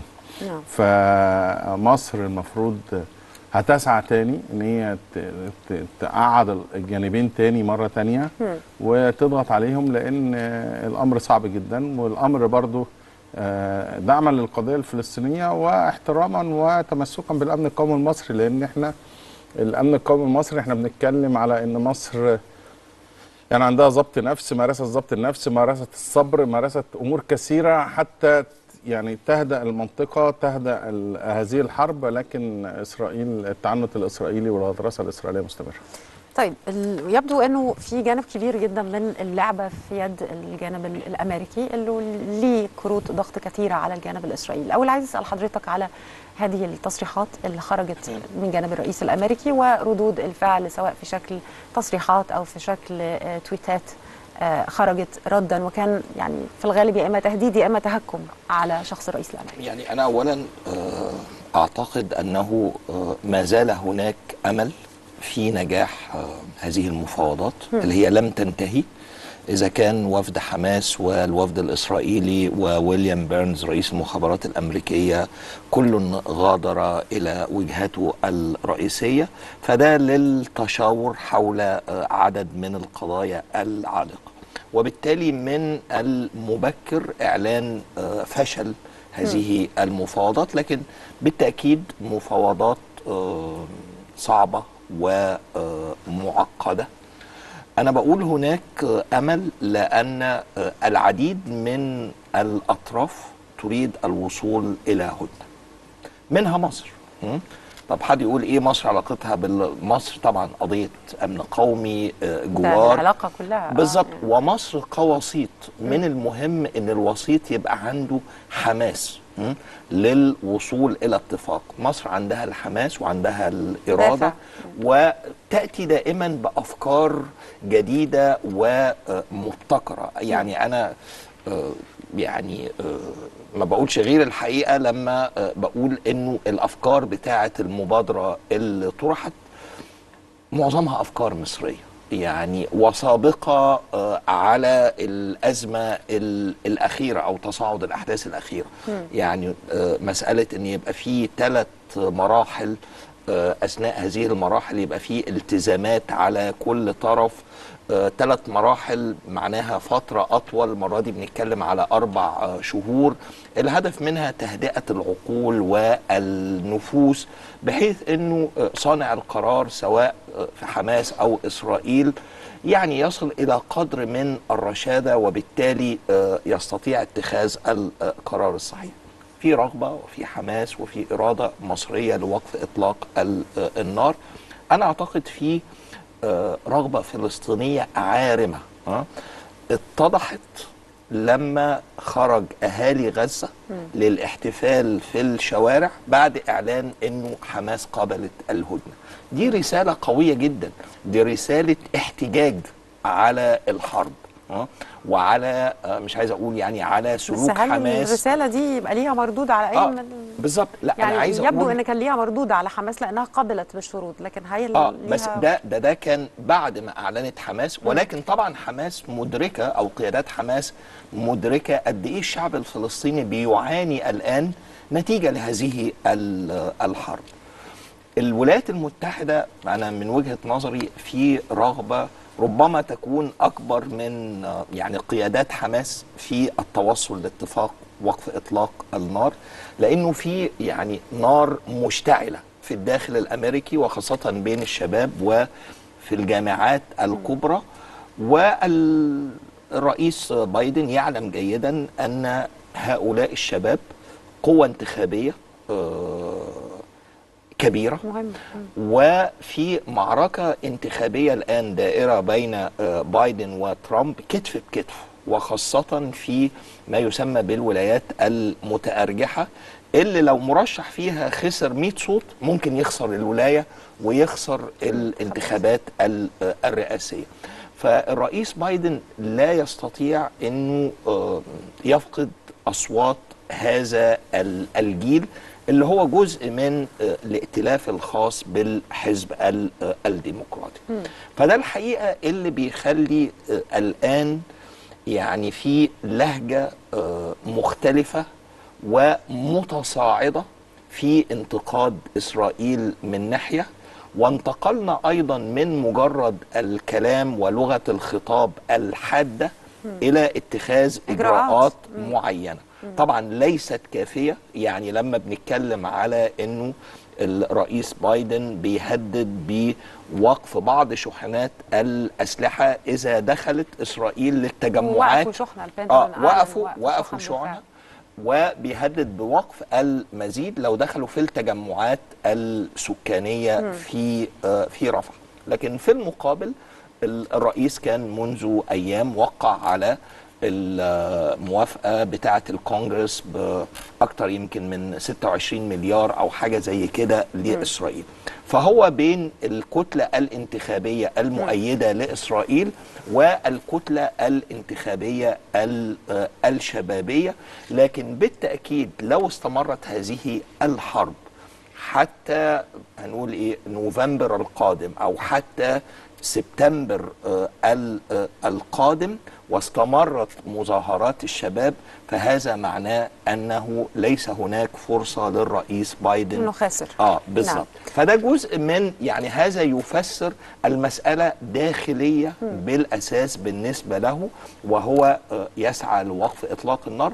المشكلة زي ما قال الدكتور محمود هي في الجانب الإسرائيلي وفي الحكومة الإسرائيلية. أنا هستأذنكم بس هنخرج إلى فاصل وبعدين نعود لاستكمال حوارنا بعد الفاصل. طيب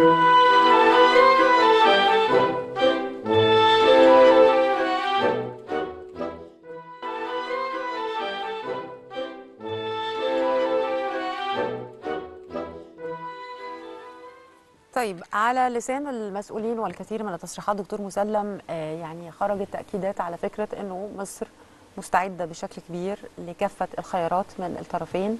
آه، كل السيناريوهات مطروحة. مصر لها حق ال- ال- الرد. مصر تدخلت في هذا الملف سياسيا وإنسانيا على مدى شهور طويلة. ماذا نعني وإحنا بنتكلم على فكرة في سيناريوهات كتير قد تكون مطروحة أو أنه الخيارات بالنسبة لمصر آه، كثيرة؟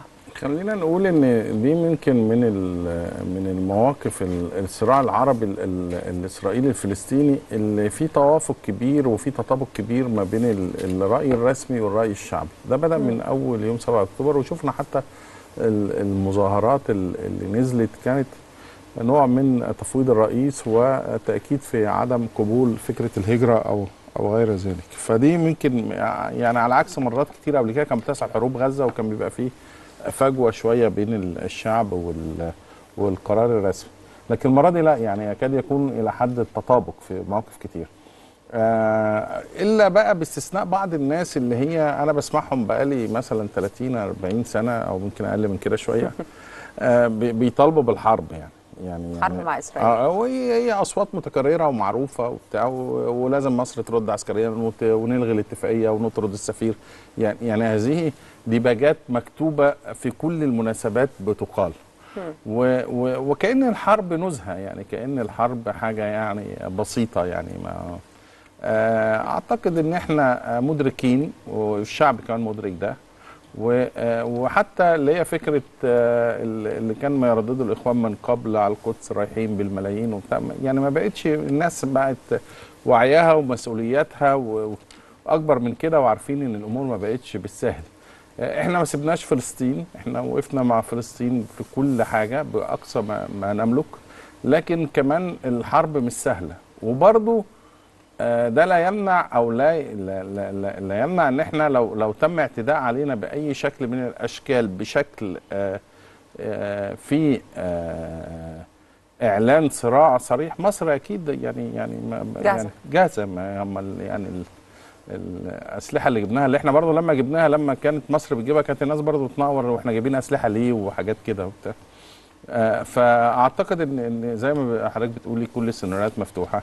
إحنا قلنا ما حدش يجي ناحية محور فيلادلفيا وده نزل يعني بيان صريح إن لو في حاجة على محور فيلادلفيا حصل اللي هو محور صلاح الدين. ما ما جوش إسرائيليين عند محور فيلادلفيا واسرائيل أعتقد مستوعبة إن هي وأمريكا كمان مستوعبة وقالت ده امبارح في بيان أمريكا إن إن إن أي عبث في قصة رفح هي هي هيأثر على مصر مصر آه، يعني تدخل طرف على طول. آه ف فلكن لكن ال ال ال الحروب وال ومصائر الأمم ما بتتحركش ببيانات وبالهتافات وبال يعني الأمور ليها حسابات ومصر أكيد يعني عاملة حساباتها. عندنا مؤسسات قوية عندنا آه أجهزة أمنية قوية وعندها حساباتها وعندها تصرفاتها ورصد كل السيناريوهات خاصة إن إحنا في حرب بقالنا سبع شهور.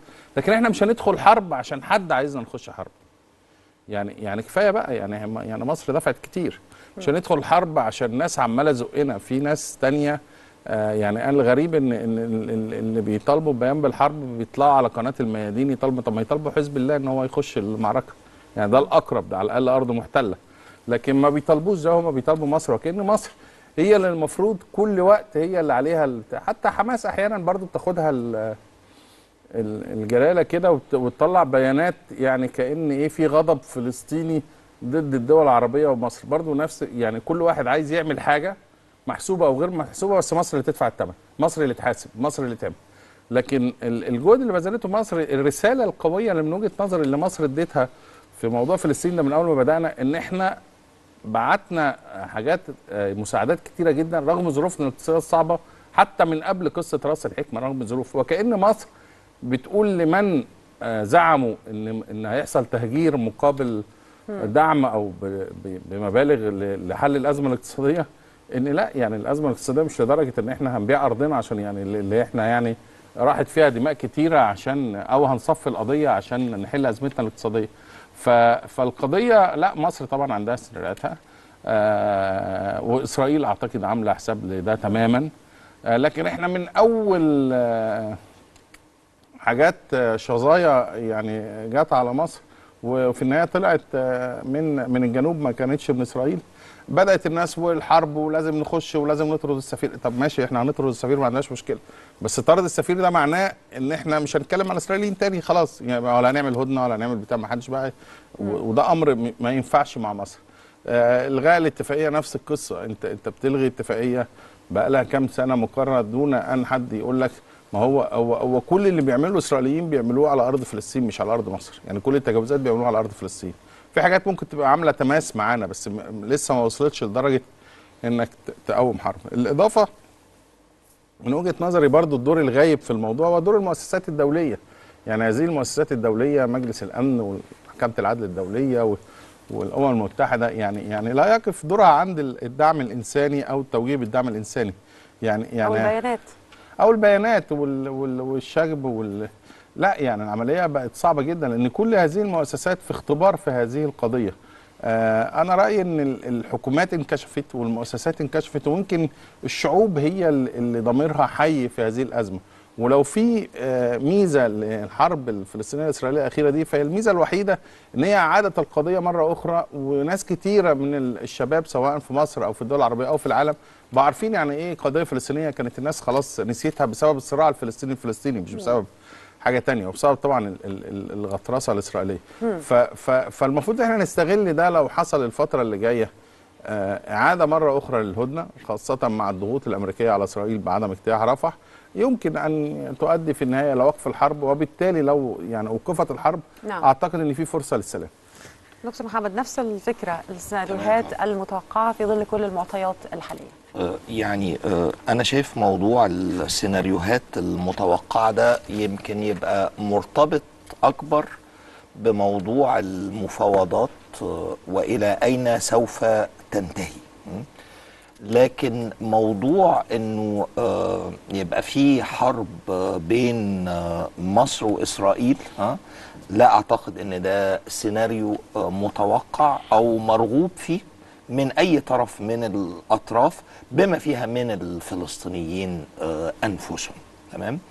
أنا برضو يعني أنا عرفت حضرتك خريجة آه، كلية اقتصاد وعلوم سياسية. يعني افتكر لما بندرس مادة السياسة الخارجية أو الأمن القومي بنقول الأساس هو المصلحة الوطنية. الناشونال انترست وأنا عندي قناعة ترسخت في الأزمة الأخيرة دي إن الشعب المصري بتكلم عن الشعب المصري مش بتكلم على شخص أو حد من النخبة. أو واحد. لا الشعب المصري اللي إحنا بنتعامل معاه وبنقابله والمواطن العادي مدرك تماما معنى المصلحة الوطنية المصرية. وإن المصلحة الوطنية المصرية يجب أن تأتي اولا. وده الحقيقة ده في كل دول العالم ده مش اختراع؟ مصلحتي الوطنية إن أنا أستمر في عملية بناء إن أنا أعيش آه، في سلام إنه التعليم يبقى عندي أفضل إن المواصلة وهكذا ها؟ هي دي الأولوية مسألة التورط في حرب?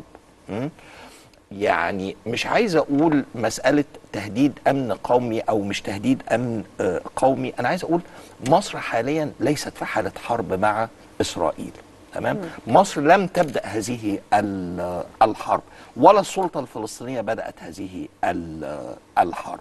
اللي حصل ده صح ولا غلط؟ دي قصة تانية قصة تانية، يعني. صحيح. ولكن مصر الآن هي وسيط للسلام ودورها كوسيط للسلام مطلوب فلسطينيا ومطلوب امريكيا ودولياً. ومطلوب دوليا ومطلوب اسرائيليا. كيف تكون وسيط للسلام وأنت طرف في طرف النزاع. في في النزاع. فعلينا أن نركز في موضوع ال- الوساطة. هذا لا يعني أيضا أن القضية الفلسطينية ليست قضية أمن قومي. بالتأكيد قضية أمن قومي. وغزة هي جوار مباشر لمصر. وفي رفح الفلسطينية ورفح ال- المصرية.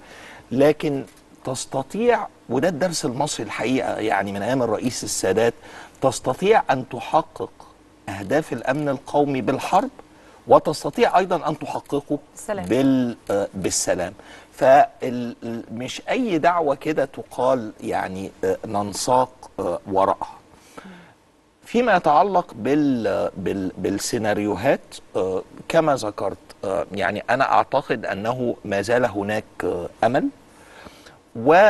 وفي نوعين من ال- المشاكل اللي موجودة في هذا الاتفاق. آه، الأولى يعني آه، ممكن حلها وهي الخلاف حول عدد الرهائن أو الأسرى اللي المفروض حماس تفرج عنهم وهل المرحلة الأولى يبقى كلهم أحياء ولا جزء آه، أموات؟ وبرضو إسرائيل بتقول أنا عندي حق الفيتو على بعض الفلسطينيين اللي حماس طالبة الإفراج عنهم أنا أعتقد دي مسألة آه، يعني قابلة لل- للحل. الجانب الثاني اللي هو يعني آه، صعب شوية اللي هو إن إسرائيل آه، لا تريد أن تلتزم بشكل صريح بنهاية للحرب? ودي مسألة صعبة على أي طرف صعبة على الأمريكان وصعبة طبعا على حماس. يعني ما ينفعش تيجي تقول لي والله افرج لي على كل الرهائن ها؟ وبعد كده أنا جاي هخش عليك وهقتلك وهدمر. يبقى إيه فايدة الاتفاق؟ بالظبط. يعني أنا شايف برضو بالمهارة المفاوض المصري وبالمزيد من الضغوط الأمريكية على آه، إسرائيل ممكن التوصل إلى صياغات خلاقة? اللغة سواء اللغة العربية أو اللغة الإنجليزية غنية بالتعريف بالتعبيرات. ها يعني انتقلنا إسرائيل بتقول أنا مش عايزة cease fire وقف إطلاق آه،. نار فقالوا نستخدم جملة اسمها sustainable calm أو.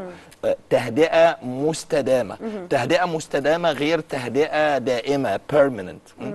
فيعني وارد أن آه، يعني يتم ابتكار تعبيرات لفظية معينة تعبر عن مواقف تعبر آه، عن مواقف جديدة. أنا كحماس أطلع أقول والله أنا حققت هدفي وإسرائيل تقول والله أنا حققت هدفي بس الهدف الرئيسي اللي كلنا الحقيقة عايزين نوصل له هو التهدئة على الأقل لمدة أربع شهور.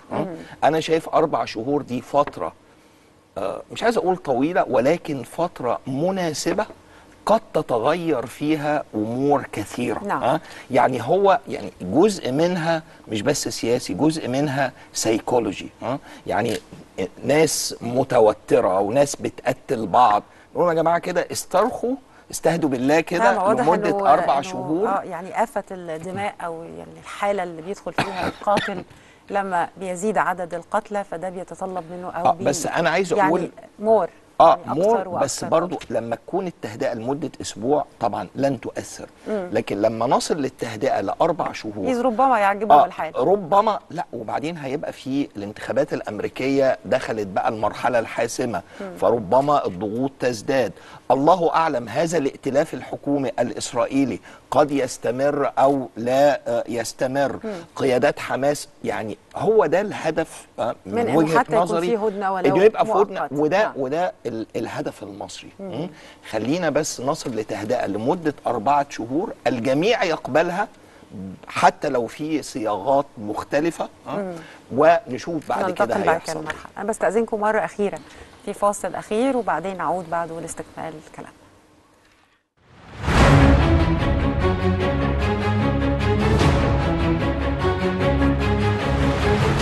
الرئيس عبد الفتاح السيسي عمل إنجاز كبير في دعم القضية الفلسطينية. وفتح استقبال المصابين وقدم مساعدات ومساهمات للقضية الفلسطينية. هو ده متوقع من ال- الرئيس السيسي طبعا. وهو بما ان هو طبعا مصر معروفة دايما إن هي واقفة مع فلسطين طول عمرها من من يمكن من 48 الرئيس عبد الفتاح السيسي هو متبني القضية الفلسطينية من الأول وليه دور كبير قوي من الأول في إن هو يحاول يفك النزاع بين إسرائيل وبين فلسطين.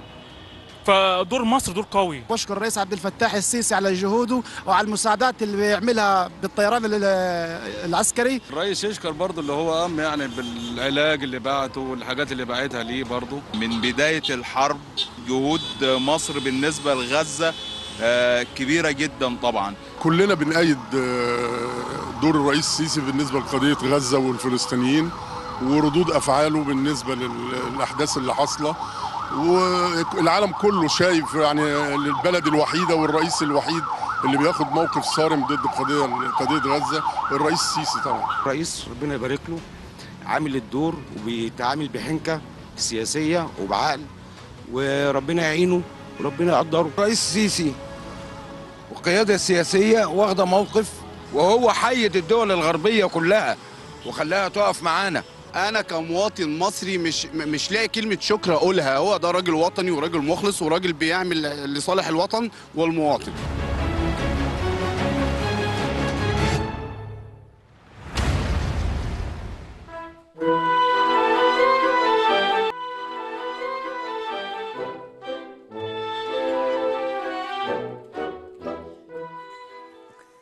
طيب أخيرا يعني الدقائق ال- ال- المتبقية يمكن إحنا اتكلمنا على السيناريوهات اتكلمنا على الدور ال- ال- المصري. يعني خلينا نقول ماذا آه، بعد مفاوضات اليوم دكتور مسلم؟ بعد مفاوضات اليوم أعتقد الواجب على أمريكا أمريكا بتضغط لأول مرة بنلاقي برضو خلافات علنية بين أمريكا وإسرائيل وإن كانت يعني آه، مش محسومة بشكل كبير لكن موجودة. أعتقد هو الرهان على أمريكا للضغط والرهان أيضا على دخول الاتحاد الأوروبي للضغط على إسرائيل للعودة مرة أخرى إلى مائدة المفاوضات. آه، لأن ال ال ال الأوضاع الإنسانية في آه، فلسطين وفي غزة تحديدا وفي رفح تحديدا آه، أصعب مما يتخيل أحد. إحنا بنتكلم على مساحة أرض كان عايش فيها 200 ألف دلوقتي قاعد فيها أكتر من مليون و200 آه بنتكلم على ظروف إنسانية في الظروف العادية هي ظروف صعبة فما بالك في حالة إن يحصل اجتياح. فكرة الاجتياح برضو مش مضمونة. لو لو لو ال ال ال الحركات المقاومة سواء في العراق أو في سوريا أو في لبنان أو حتى في اليمن دخلت اشتبكت أو إيران ممكن الموضوع يكبر ممكن الموضوع برضه على الحدود يكبر. كل ال- ال- السيناريوهات متاحة ومش مضمونة عشان كده أنا أعتقد أن أمريكا عندها هاجس فكرة أن تتحول المنطقة إلى حرب بعد ما كان عن عشان كده مش عايزين رفح ومش عايزين يحصل الاجتياح يعني متفقين خاصة إن أنا أعتقد الأمريكان كمان ما بقوش يصدقوا نتنياهو لأن ما كانش حد يتخيل في بداية الحرب آه، 7 أكتوبر إن إحنا هنوصل لل- للفترة دي وما حققش الهدفين بتوعه اللي هو قتل قادة حماس أو استرجاع الرهائن ما رجع ما فيش رهينة رجع إلا بالاتفاقية ال- ال- اللي عملتها مصر الاتفاقية الأولانية. حتى في واحد خرج بعد الاتفاقية فكلنا تخيلنا إن هم عرفوا يوصلوا للأماكن. فطلع كان موجود عند أهالي. ومشوه آه بالصدفة. فده معناه وأول يوم في الاجتياح البري برضو خد اتنين رهائن. غير كده ما ما وصلش الرهائن خالص وده اللي عامل عليه ضغط داخلي وضغط إن هو حتى في آه لسه امبارح آه أخونا عزت إبراهيم بيقول لي على استطلاع رأي حصل في إسرائيل فطلع 57% يرون أن نتنياهو يريد أن يحافظ على مقعده و37% يرون إنه يريد استعادة الرهائن يعني أنهي الأولى عنده. ف 56% بيقولوا منصبه أهم. آه يعني يعني يمكن برضو من الجهد المصري اللي لازم نشكر فيه أو لازم نقوله إن مصر نجحت خلال السنين اللي فاتت إن هي تحصل توافق فلسطيني فلسطيني بعد الصراعات. فبالتالي الموقف الفلسطيني الآن موقف موحد عكس الموقف الإسرائيلي. النزاعات الداخلية في إسرائيل آه، صعبة جدا ومحتملة. وزي ما شايفين إحنا بين حكومة متطرفة وبين معارضة وبين أهالي رهائن بيقوموا بمظاهرات فالوضع صعب. لكن سيظل ال- الرهان ال- الأول والأخير على أمريكا للضغط على إسرائيل نعم. لوقف هذه الحرب. أنا أعتقد الأولوية الملحة الآن هي مسألة فتح المعابر. كرم أبو سالم ورفح. وأنا أعتقد في ضغوط مصرية هائلة وضغوط أمريكية لأنه آه، يعني توقف المساعدات الإنسانية وخاصة الوقود هيؤدي إلى كوارث أكتر من الكوارث اللي موجودة في غزة. دي النقطة الثانية أنا أستبعد أن يكون هناك اجتياح إسرائيلي بري شامل لغزة في الأيام القادمة. وإسرائيل مهما سمعنا النهاردة وهنسمع بكرة من عنتريات ها؟